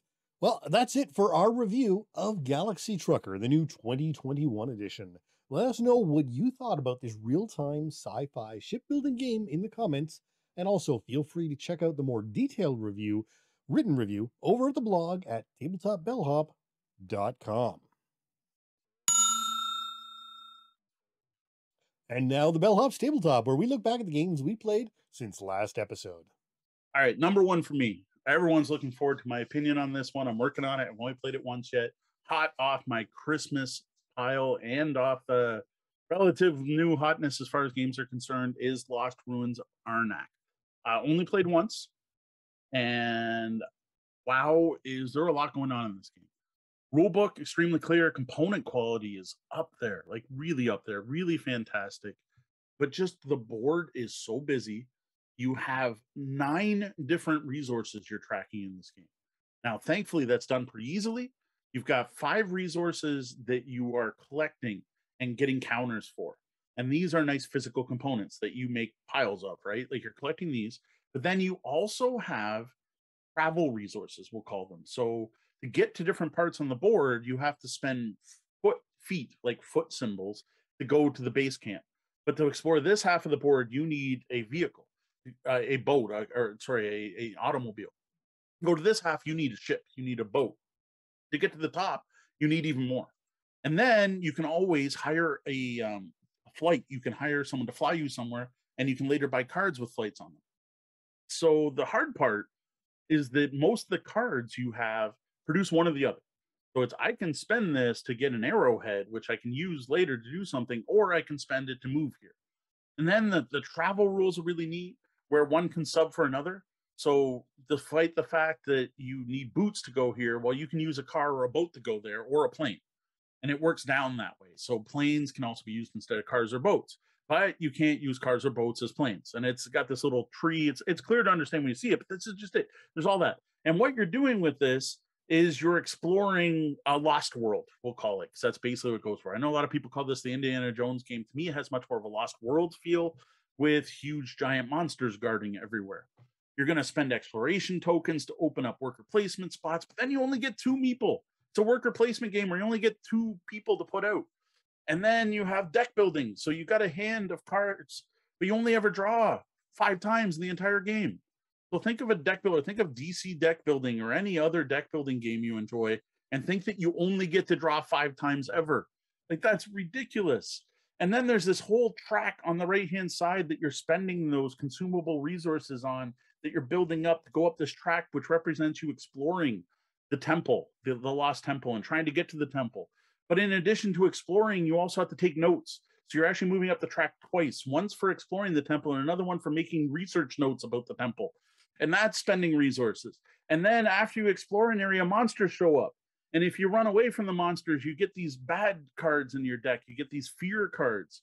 And while fear cards give you boots, so it's you run away to home base, right? There's a neat tie in there. You're also getting minus one point at the end of the game for these because they're terrible and they fill your deck. And again, you're only drawing five times. And then you never shuffle your entire disc. Well, you shuffle, but you don't shuffle your deck you shuffle every card you played that round and then put it on the bottom of your deck. So there's a little bit of um what is that game called? I can't remember it. The Aeon's End going on here. And along with that, there's artifacts. So the cards you can buy are equipment, which costs money, but then you can use your exploration to discover artifacts. But then to power the artifacts, you have to have tablets and like all of this is happening at once. It is so overwhelming. Like we're sitting there going, like the first turn of the game, here's my hand of five cards, and here's this board spread out, and I'm like, what do I do with this? And like completely, D and I completely lost. And then one of the things I mentioned to D was that I've heard a lot of people talk about how they've ignored the exploration track, and lots of people have finished the game without ever getting to the Lost Ruins, never getting to the top of the track. So she just was like, okay, I'm going to get to the top of the track. So I have focus. And me, I started off going, I'm going to buy lots of cards because the cards give me wild cards that I'll be able to do lots of things. And while I didn't plan it, I didn't click in that I'm only going to get to draw five times. So I literally just put a ton of stuff in my deck I'd never draw because the deck was too big. But every card you buy was worth points. And I thought D had destroyed me. Here she is at the top of the track. She's reached the Lost Ruins and she's documented her entire path. The only thing she hasn't done is run away with any of the treasure, and that's only because she misunderstood a rule. She thought she had to buy the lower cost ones instead of the higher cost ones, but you can actually buy in any order if you've got the resources. Well, it ended up we tied because I had bought so much crap with my money. I had so many points. I had 23 points of just stuff in my deck Meanwhile, she had 23 points approximately for going up the track, and it kind of balanced each other. And the rest of us, yeah, we each killed a few monsters. I think we each killed four monsters or something like that. We each killed three because we have 15 points each in monsters. But we finished and we were just like, well, I don't even know. And and honestly, it wasn't even a game where I'm like, oh, next time I would play that differently. I'm like, yeah, I played differently, but I still don't know what the right way to play mm-hmm. is. And I think that's fantastic. Like it didn't feel like her way worked and my way worked. They both worked and they were both very different. And man, was it fun. Like, is this ever well done? I personally felt the two meeples was really punishing, and I kind of hated it while playing, but I'm sure that was supposed to be part of it. The fact, and the other thing that's very different from deck builders, this is not a play your entire hand, do your turn, you're done. It's more terraforming Mars. It's you do your action, which could involve playing cards. Then I do an action, which could involve playing cards. And then you do your action until you pass. And the round doesn't end until everyone passes. So, despite the fact you only have five cards in your hand, because you have all these resources and on tracks to go up, you can actually do a lot more. It's not just here, put up my hand face up and go, yeah, I got two resources. I buy one of these and do this. That's completely gone. This this feels so different from every other deck builder because of that. Yeah, I have to say I am super eager to play this. Who knows when that will ever happen? But uh, well, this one is on Tabletop Simulator. Yeah, so, it is. So so we can probably sit down and play a game once you uh, guys, uh, you're you're feeling you're rough, or I'd suggest it tonight because I'm sure D would be up for it. All right, next another one from the Christmas pile, Star Wars Unlock. So first off, I've never played an Unlock game. I assume every Unlock game works the same, especially based on the fact they give you an intro that kind of tells you how the different card types interact. And it was fascinating to me to see how this does things different from other escape room games. Like we played quite a few of the exit games. We played various murder mystery games, Maplebrook Case, Escape Mail, and stuff like that. I've never played an unlock. Started off with the intro scenario. Fair warning. One of the things you need to do is don't plan on playing this for the night. We're like, it's New Year's Eve. We're gonna do this with the kids. They're gonna watch their Animal Crossing ball, and then we're gonna play Star Wars Unlock, expecting like a game. No, the intro is literally just to teach you how to play. It is super simple took us under five minutes to finish, and that was with a mistake penalty of one minute. So really only took us about four minutes. Um, my daughter was 14 and acting 14, so that was slightly amusing because she was like, "No, I don't want to play." So we were like, "New Year's Eve, this is what we're gonna do." And she's like, "Nah, I don't feel like it." So we're like, "Screw it, we're gonna play without you." Well, she was the one that solved the one problem that we didn't have the panel. She's like, "Well, look, look at the the thing here," and I'm like, "Okay." And then we finished. I'm like, so did you like that? She's like, oh yeah, I really like that. That was really well done. That was very different from the exit games. Obviously, she didn't like the exit games as much as I thought she did. But she's 14, so maybe not. Maybe she loved those too. Intro is fantastic. Teaches you the different card types. Yes, it's easy. It, it's the thing we missed was really obvious to see what we missed once we missed it. Um, I loved the fact they actually took the time to make a Star Wars specific intro. You're you're a imperial spy who's been captured by rebels in a cell. You have to break out. I like that, and it had Star Wars music and stuff. I'm like, that was really cool. Just again, don't be like, we're playing this night. It's it's, it's ten minutes at the mo- absolute most play through this. So like that's your you do this, then you play another game. So the next day, we sat down and played through the first full adventure. I don't know what to call it. So the, the all the unlock games are now settled in box sets of three three games at once. Okay. All of them are. They used to be individual small boxes that were pretty long. Now they're sold in in one box with three at a time, and it's like that for all unlock games. This one only comes that way. Where some of the older ones, one of the things to watch for for fans of unlock is to not buy a game you already have because of the way they started distributing them. But anyway, this one's standalone. This was even cooler. Like I gotta say, I really do dig the way the system works. This very much felt like a Star Wars story. Uh, it's called Escape from Hoth, and yes, you're taking part at the beginning of Empire Strikes Back. Yeah, you're doing a couple things that seem very similar to what some of the characters did, but it is a standalone story with interesting things happening. Um, there were some real surprises here. I've got to say there was a jump scare, which again I'm always impressed when there's jump scares and something like this. There was a card I flipped over that I literally like, you know, wasn't expecting that on the card. Um, the the interactions of the cards are really neat. I'm not going to get over how to play an unlock game. Not here for a weekend review. When I do a full review, maybe I'll get into it. I will say the difficulty was pretty much perfect level towards easy. There was some really, really blatantly silly, obvious stuff, um, especially right at the beginning of this. But this is considered the easiest of the three in this box, and I think it's also designed for people who've never played an unlock game before. So it's supposed to be easy. Um, there was one exception. There was one puzzle that honestly I don't think we ever would have got, um, just because it required more out of the box thinking than we were applying to it. And I got to say, I can almost see that as a problem because you're introducing the system to players. I don't know if they should expect you to stretch that system or possibly break that system when they just went, this is how the game plays. And then they threw in something that kind of twists that a bit. Again, I don't want to spoil anything. I this was fine. We used a hint. The hint pointed us in the right direction without being obvious. So I appreciated that. And honestly, one of the things most people do need to learn is taking a hint. One of these games is not a failure. There's a reason they rank Yoda five. You're not going to rank one because you used one hint. You're probably not even going to rank one if you actually get a full solution to one puzzle. Now, I do have one complaint. These are games that are a combination of app and card game. Now, it is mostly card game, but you do have to do use the app for different things. And there is a certain color of cards where you basically say, I am using something, and you put it into the app to tell it what it's using, and you then get a interface to interact with whatever that thing is. Well, there was a point where we had to put in four codes. We had done all the work to gather the four codes, and it ends up, it looked like there were actually five different codes available, and we had found all five, but we needed four. We sat down with the app, and at that point, my daughter was controlling it, my youngest daughter, and had her punch in the first code. She hits OK, and it goes, eh, eh, one minute penalty. And I'm like, what? Which card did you type? And my daughter does have some disabilities and sometimes difficulty reading numbers. So we just assumed she typed in the number wrong. So I gave her another one of the four codes or of the five that was an easier number, right? That she couldn't mix up. And I'm like, okay, what the heck's going on? Let me try. So I went and put the code in, and I'm like, what is it doing? Like I'm putting the codes in. Well, it ends up it wanted all four codes at once. Mm. It didn't want me to hit enter one and hit enter. It wanted me to type in all four codes, then hit enter.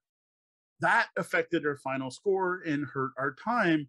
And that was frustrating because that wasn't us. We had done the work, we had solved the puzzle, we knew what the codes were, we had the right codes in front of us, yet we were penalized for the app not working the way we thought it did. Although, I mean, arguably, the, the figuring out how the app worked was part of the puzzle. I guess, I guess, I guess. is one way to look at it. I to me, uh, originally I wrote this sounds like a modern VHS game, and it doesn't quite sound that bad to me. Hearing more about it, yeah. Um, there's a lot of card play, but there's still a level of VHS game there, like you know, old DVD games there for me, and that's not for me. But that's you know what I you know, if the kids are liking it, that's awesome. Yeah, I would say it's not uh, like almost not at all a VHS. Okay. Game. So there's no audio from the app. It doesn't tell you the story. It oh, doesn't. Okay play music. So it's not like you turn on the app and watch something then interact. It's all on the cards. Oh, okay. What you will do is you'll get to a door you can't get past, and you have to enter a code, and all you do is you tap on enter code and put in the code. Three times during this adventure, we interacted with objects, and they let you do fun things with your phone. I, I again, I don't want to spoil no, fair. anything on this, but they weren't sit and passively watch ever. It was all interactive and I got to admit there was a really good one that that I got right away. But uh, there was a really good use yeah, it's more AR, we'll say, more AR and VR style stuff than than. It, it's a way to add in the components that are in the exit games without needing physical components in a way. Right. So they're saving money on product. That's fine. Yeah. Now, I just look forward to more. We got two more to play. After that, I'm definitely probably going to be willing to check out more unlock games. I, I don't know if we have a contact to try to check out more. Maybe we'll just go shopping with the kids. Uh, the kids did dig it. One of the things was it says play six players. There wasn't a lot that we could all work on at the same time. It was very much reveal the new card, read what's on the new card, and then someone else read it, and we all try to solve the puzzle. And I have a feeling more difficult ones, maybe you'll split up. And yes, you had a thing where someone could be looking at one card for a clue while someone else is trying to combine a couple things. But there really wasn't a lot for everyone to do. And, and using a phone, what we did is took turns using the interact with the app thing, but there's only one phone. And some of the stuff you were doing very much involved one person using the phone. No one else could lean over and look. So that that was one aspect which I, I think is going to be an issue with all unlock games. Big bonus though, you don't destroy anything. These are infinitely replayable by multiple groups and players as long as you have the deck of cards. There is nothing to stop me from handing this deck of cards over to you and you download the free app for yourself. So anyone can play these, though no way whatsoever you can replay. Once you've solved it, it it's a murder mystery type Right. of thing, right? There's no murder mystery in this one, but like there there were no branching paths, there were no other ways to do things. Right. One and The- done. the- yeah. I'd be able to play it through and probably finish it in two minutes. I probably still have to use some of the cards to look up some of the codes because I don't remember them. But like, it's these are not replayable, but it's not destroyed in any. Next, another game with kids, Disney Sidekicks. Um, played it with the girls for the first time. They were very, very interested in it. They thought it looked fantastic. Um, it had a real hard time getting them to put the miniatures down so we could play. Uh, They, in particular, loved the three fairies that were one miniature that you could split up. So it's three separate fairy miniatures, and when you pass another hero, you can attach, or sorry, sidekick, you can attach a fairy to them to defend them. But then you keep moving the other two around, and you can't split the third time. That in the fact that then when the fairies got hurt, they flew back to the others. Like that was just a fascinating concept to them. Um, they dug the asymmetric abilities, kind of reminded them of villainous, where the bad guys had different powers. Um, we had Maleficent down to two health, and we had rescued two of three heroes. So all we had to do to win was one more hero and hit Maleficent twice more, and well, we lost because that's what happens in that game. Uh, my kids were very frustrated by the. It felt like it was going great, and then suddenly it wasn't, which I've got to say is a feature of many um, cooperative card games or cooperative games. That's the biggest problem with pandemic. Pandemic's going great until you get your first couple epidemics and outbreaks, and then all of a sudden it's a chain reaction. It's terrible. You have that in Disney sidekicks. Um, in particular, the cards that say place something where you are and adjacent spots are terrible. Whether they're place guards where the villains are, they're place villagers where you are, those can cause everything to just end almost instantly. It's went over okay. Um, one of the things is I have now read that Maleficent is the hardest. Uh, what Maleficent does is put um, curse tokens out on the spots, and if anything is sent to that spot, it instantly goes in the tower. And getting five things in the tower, or whatever they are, lose. So having two spots start the game filled, and then her putting out more curses makes it way harder than any of the others. Whereas some of the other buildings, like Scar, just does a lot of damage. So as long as you can stay away from Scar, you're pretty good. And every time you hit him, he gets weaker. There's no nothing's going to go in the castle because of Scar. Or for example, Hook has the um the pirate ship that goes around the board and shoots cannons at you. It could destroy you, and if any heroes lose, you do lose. But again, it's not putting anything in the castle. Well, what I do want to do is try it again without Maleficent to see if it's a little more done. But as for my kids, despite the fact they seem to be having fun while they were playing, and the fact they love the miniatures, we finished. I said, All right, you want to try again? Because that's usually what happens. We were close, right? One hero one villain away, two health left. Let's try again. No. And then literally the words, I don't have to ever play this again. And then the other daughter, yeah, please don't make me play this again. So from the mouth of babes, uh, this just fits what we've been saying about this game since the start. This is not a game for kids. This is a heavy, punishing, well, not heavy, heavier, somewhat complicated, very punishing, very difficult cooperative game, which just doesn't match the people that you think would be playing it. Yeah, talk talk about missing your your key demographic there. Uh, interestingly, we're sort of having that same sort of thing.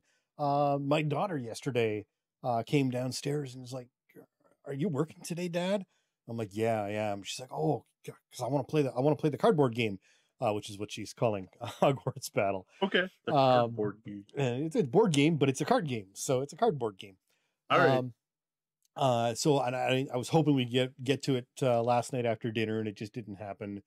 But uh, we we got to it this afternoon and got a game in, and man, we we uh, so la- last time we sat down, we we blew through box one of the the book Charms and Potions, solid Damn it. Sorry. um solid play of that uh had trouble with box 2 Mhm. went back figured out what we were doing wrong and basically blew through it pretty well as well not box three we've Huh. been crushed twice by it this time we were not only crushed but partway through we were realizing we were playing extreme we should have been far more crushed we oh, were okay. that we were we were drawing one less card every round than we were supposed to be uh that was like punishing card Mhm.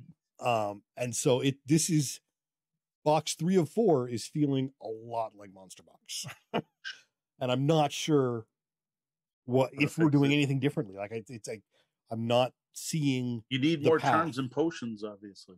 Well, that, that that's part of the problem. Actually, is what happens is in this third box, um, they add uh, bad potions.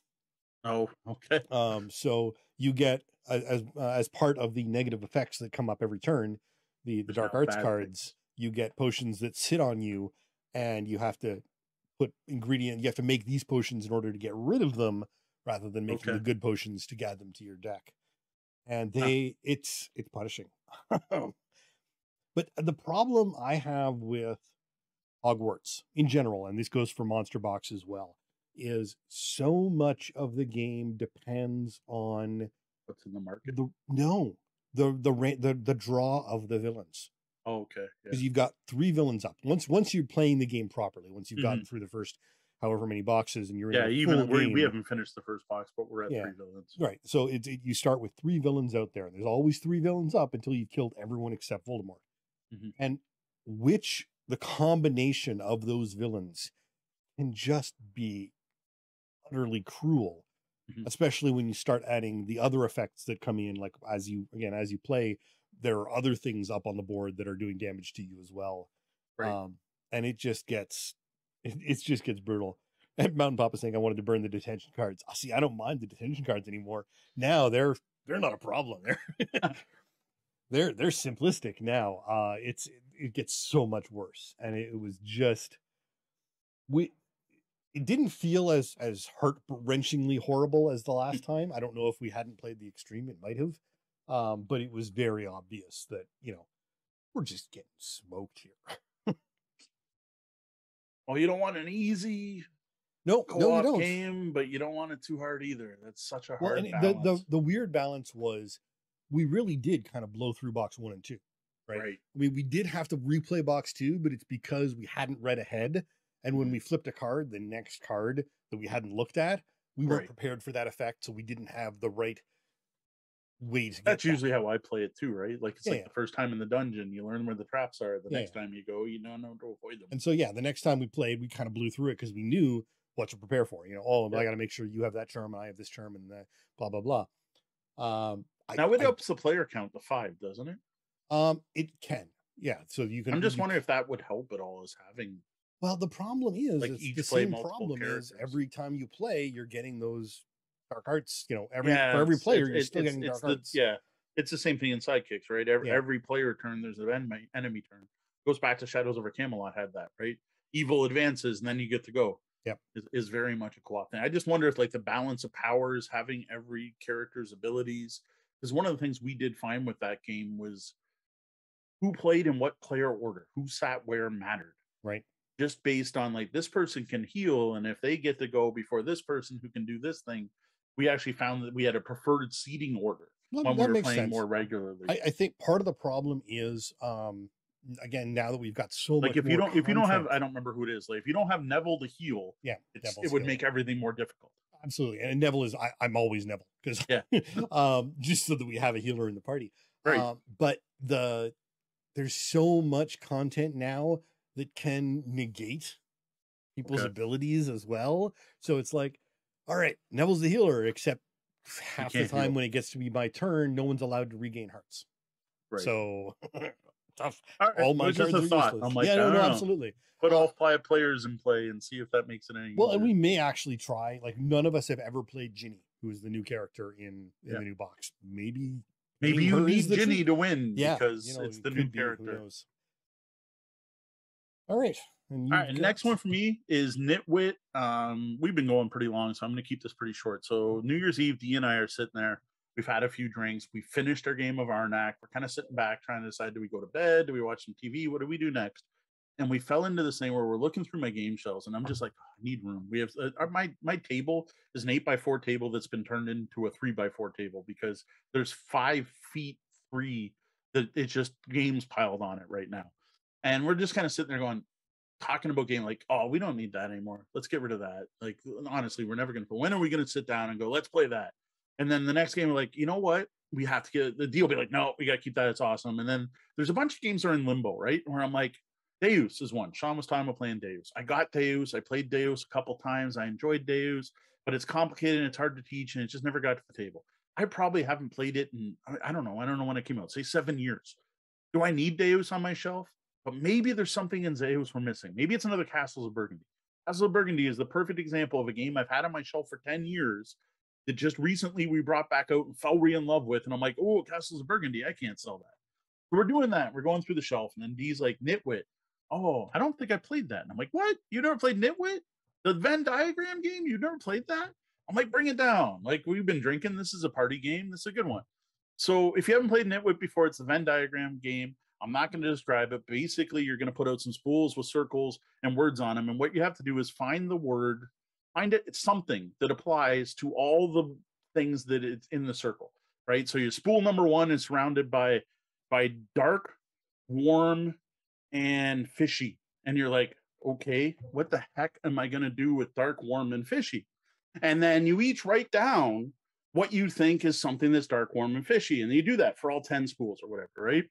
So then you sit there and the round ends and everyone reads off their answers. And in general, it tells you accept whatever someone fit as long as it fits, right? And while with two players, it's a little silly because there's a whole voting system where like, no, I challenge you. There, there is no way that Swedish fish are dark, warm, and squishy. Like, yeah, they're fishy looking, but they're not dark. How can they be dark? Right? It is a fun game. Deanna was sold on. She's like, yeah, okay, this is fun. We can keep this. Now, there is a big problem with this game, though. Sometimes you get card results like dark, warm, and fishy. Due to that, you may want to sit down and you must sit down before you start playing this with someone other than your wife, because you know what your own sense of humor are and what's acceptable, and talk about what types of answers are you going to allow during your game of Nitwit. That is my only complaint about the game because I think someone who was making these cards was intentionally trying to make it so the game can go there. Fair enough. Finally, we finished Quezzle. The reason I want to bring Quezzle up, I know we've been talking about a lot, is I now have to revise my entire opinion on this one. We didn't quite get far enough to know just how good the end is. So, one tip you do not have to take any bits out of the puzzle. Remember how I talked about how we pulled out these things and we noticed that these were forming puzzles? Don't do any of that. You're jumping the gun. And it made a bit of a mess. You eventually get to a point where it tells you to pull stuff out of the puzzle, then start pulling stuff out. By the end, when the whole thing's done and you've got your four figures assembled and they're supposed to guide you, do that. Look at the four figures, figure out what the hint is, and follow it. There were some actual escape room puzzle moments here, but they weren't until literally the very end. You're completely done the puzzle. You've done all the sheets. You've done all the where's Waldo. Now all you have left is the final puzzle. So find the princess, right? And find out who save the princess, find out who kidnapped her. There is some really fun stuff. There, there, there is one one thing. So so the way it's done is in box one, you've got the the the the newspaper for box one, but there's also a newspaper for the entire game. Once you finish that, it's going to lead you interesting places. Now, this still isn't complicated. My 11 year old figured out where those clues led, and then you actually get some really well done app integration at the end. So one of the failings in this game is they had Kickstarter. Um, what do you call those bonus content? Stretch goals. Stretch goals. Thank you. Stretch goals to unlock AR content for each of the four puzzles. Well, all that's there is the first one for the eagle. You can't do the others. And I actually thought that was it. Well, in the app, there's a part where you say final puzzle, and you literally have to scan your final puzzle. No, all the pieces have to be back in at this point. So I was fighting with it, trying to get it to work. And what it was is I had to put everything back, which can get annoying because some of that other stuff is involved in some of the puzzle. Um, you scan it and then fun stuff happens. Some really, honestly, really well done AR. Um, I, I don't know how to describe it without spoiling it, but there's a really neat thing that happens. And then you literally get a reward screen that says you finished it. So if you played Quezzle and you've solved all the stuff and you've done some stuff with the app, unless you've seen something that says you've won Quezzle, you haven't finished. Because I actually know two people that had no idea that there was a further end to the end of the game. Overall, my kids loved it. They loved it so much that we're going to continue working with Quezzle. They are going to send us one of their puzzles and we'll review one of their puzzles coming up. I know it's not a board game, but you know what? Puzzles to me are tabletop games. They may not be a competitive game, but I think they're tabletop games. And as usual, head over to Quezzle, uh, what a unidragon.com, wherever you, if you search Quezzle, you'll find it. Unidragon.com. You can save 10% if you use the code BELLHOP. Yeah, I think these are fantastic. For the right market, although we have pointed out the price point is steep Mhm. on this particular big box event sort of extravaganza. I mean, there's a lot of Uh, content. to be honest, their other puzzles aren't cheaper. Right. It's it's all of their puzzles are are not cheap. I got to say there is definitely something to be said. I've been talking with someone who is a puzzle fanatic, who is someone else who has it who did not figure out the end bit. Um, who are like these are the best made puzzles I played. They're perfectly cut. They've never had a piece stick or not fit. They've never had a missing piece. Just compared to your standard cardboard or pressboard puzzle, like this is a step above. None of them have scratched. They now glue them together and mount them on their walls. With the Quezzle in particular, they did a thing where they mounted on their wall, but then kept all the newspapers Mm. so that people who come to their house can grab the newspapers and go find stuff in the puzzle. Cool. So, for a puzzle fan, these are worth it. Excellent. Well, how about a look ahead? What do you have planned for the coming weeks? All right, so I did get a pile of unboxings done, five games, including um, some of the games from my Christmas wish list, my copy of Hero Quest, and some of my older stuff that's been sitting around for a while, including more Aventuria content. So watch for those to show up on YouTube. One of them went live today. Um, Dee wants us to play more Arnak. That's all she wants to do right now. She is obsessed with the game, having only played once, so I'm sure that's in our future. The kids really want to play the next chapter of Unlock though I'm sure Mr. 14 will change her mind. Uh, Mr. 14, Ms. 14 will change her mind when we sit down to play, whether she likes it or not. Um, I want to play Hero Quest. I am really looking forward to it. Um, that I, I need to explore what I grew up with, and well, not even grew up. I was old by the time I was playing that game. I wasn't old, but I, I was not a kid when I played Hero Quest. Um, looking forward to playing some Hero Quest, trying that out. The bad part, though, is uh, we're limited to four people in our house again. We are uh, the numbers in Ontario are frightfully terrible. Uh, locally, we're looking at 600 cases a day, and that is with reduced testing. So, despite the numbers possibly looking better in Ontario, the testing number has fallen off a cliff because they refuse to test people now. So, as far as I can tell, the government's plan is if we don't test people, we won't have sick people. We, we it, we're we're playing don't ask, don't tell. I don't know what's happening. But anyway, we um unlike some people do follow these restriction rules and won't be able to get together with Tori and Cat or our extended family to play games. So that's going to put a, a, a a ding in our plans for at least the pile of obligations. So one of the big ones that I feel bad about, I'm sorry, Jamie, but Charterstone's going to have to wait. That that we are not playing until Tori and Cat can get together. Um, even Galaxy Trucker reviewing tonight, I probably would have got a couple more games in. But I played the original so many times, I didn't feel bad reviewing it. Um, Disney Sidekicks, I I'm, I feel bad reviewing it because I want to play it with Tori and Cat because they haven't played Not Extreme. And of all the people I game with, I think they may enjoy the game the most. And I would love to have a bit of a positive spin for that review. So it's not just mm-hmm. everyone hates the game. I, I think personally think there's going to be a group of experienced gamers out there who like Disney who like this game. I just haven't found them yet. And I might have them right at my table every other week or whatever, but because we played Extreme, we don't know. So I, I have no idea what's going to happen with some of our, our ongoing content. Aventuria, Deanna and I can still play, so we're good there. We can probably keep going through some of that. Doodle Dungeon's another one. I uh, we will try that with the kids, but I would have liked to have played that a bit more with more people, like especially not even be able to bring it to the extended family. D and I playing Doodle Dungeon with each other. I well, we should do it once just to review it as a two-player game. I don't think is going to get the impact as playing with more players. So, COVID restrictions throwing a wrench into everything yet again. Alrighty. Well, And you, I assume, have more Hogwarts battle coming. I do. It's it's still set up on the table uh, for uh, for another game tomorrow. Hopefully, we can figure out some solution to uh, find our way through box three. Maybe that's what I'll do since we are we we, we do have the kids indeed to game with. Maybe we'll go try and finally finish off the core box. I don't remember what number we were on. I think we had unlocked all the things, but there was still one fight left to do to like beat the box. Right. But I think all the rules were in place. And now a quick shout out and a thank you to some of our VIP guests, our Patreon backers. We greatly appreciate their support. Zopi, thank you. Brian Sheehan. Thanks, Brian. David Miller Jr., who right now is just Dave. Thank you. Brian Kurtz. Thanks, Brian.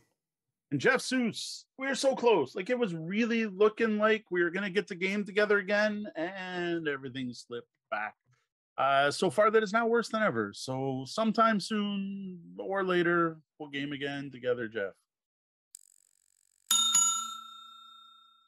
Well, that was the double bell. Uh, that means my shift's coming to an end, and we're gonna let Sean get some sleep. The doors to the lobby are closed. You can always find us all over the web as Tabletop Bellhop, one word. You can visit our website at tabletopbellhop.com, find our podcast on your podcatcher of choice, and sign up for our newsletter at newsletter.tabletopbellhop.com for weekly updates. As always, links down below. I mentioned every episode. You can head to patreon.com slash tabletopbellhop to support our show and offset some of the costs of putting this content out and help us to improve our setups. Well, that wraps up the time we have for the show tonight. For the lobbyists, thanks for joining us, and be sure to stick around and join us in the penthouse suite for the after show. Stop by Sundays for brunch. For Tabletop Bellhop Gaming Podcast, I'm Sean. And I'm Moe. Thank you, and game, Game on. on.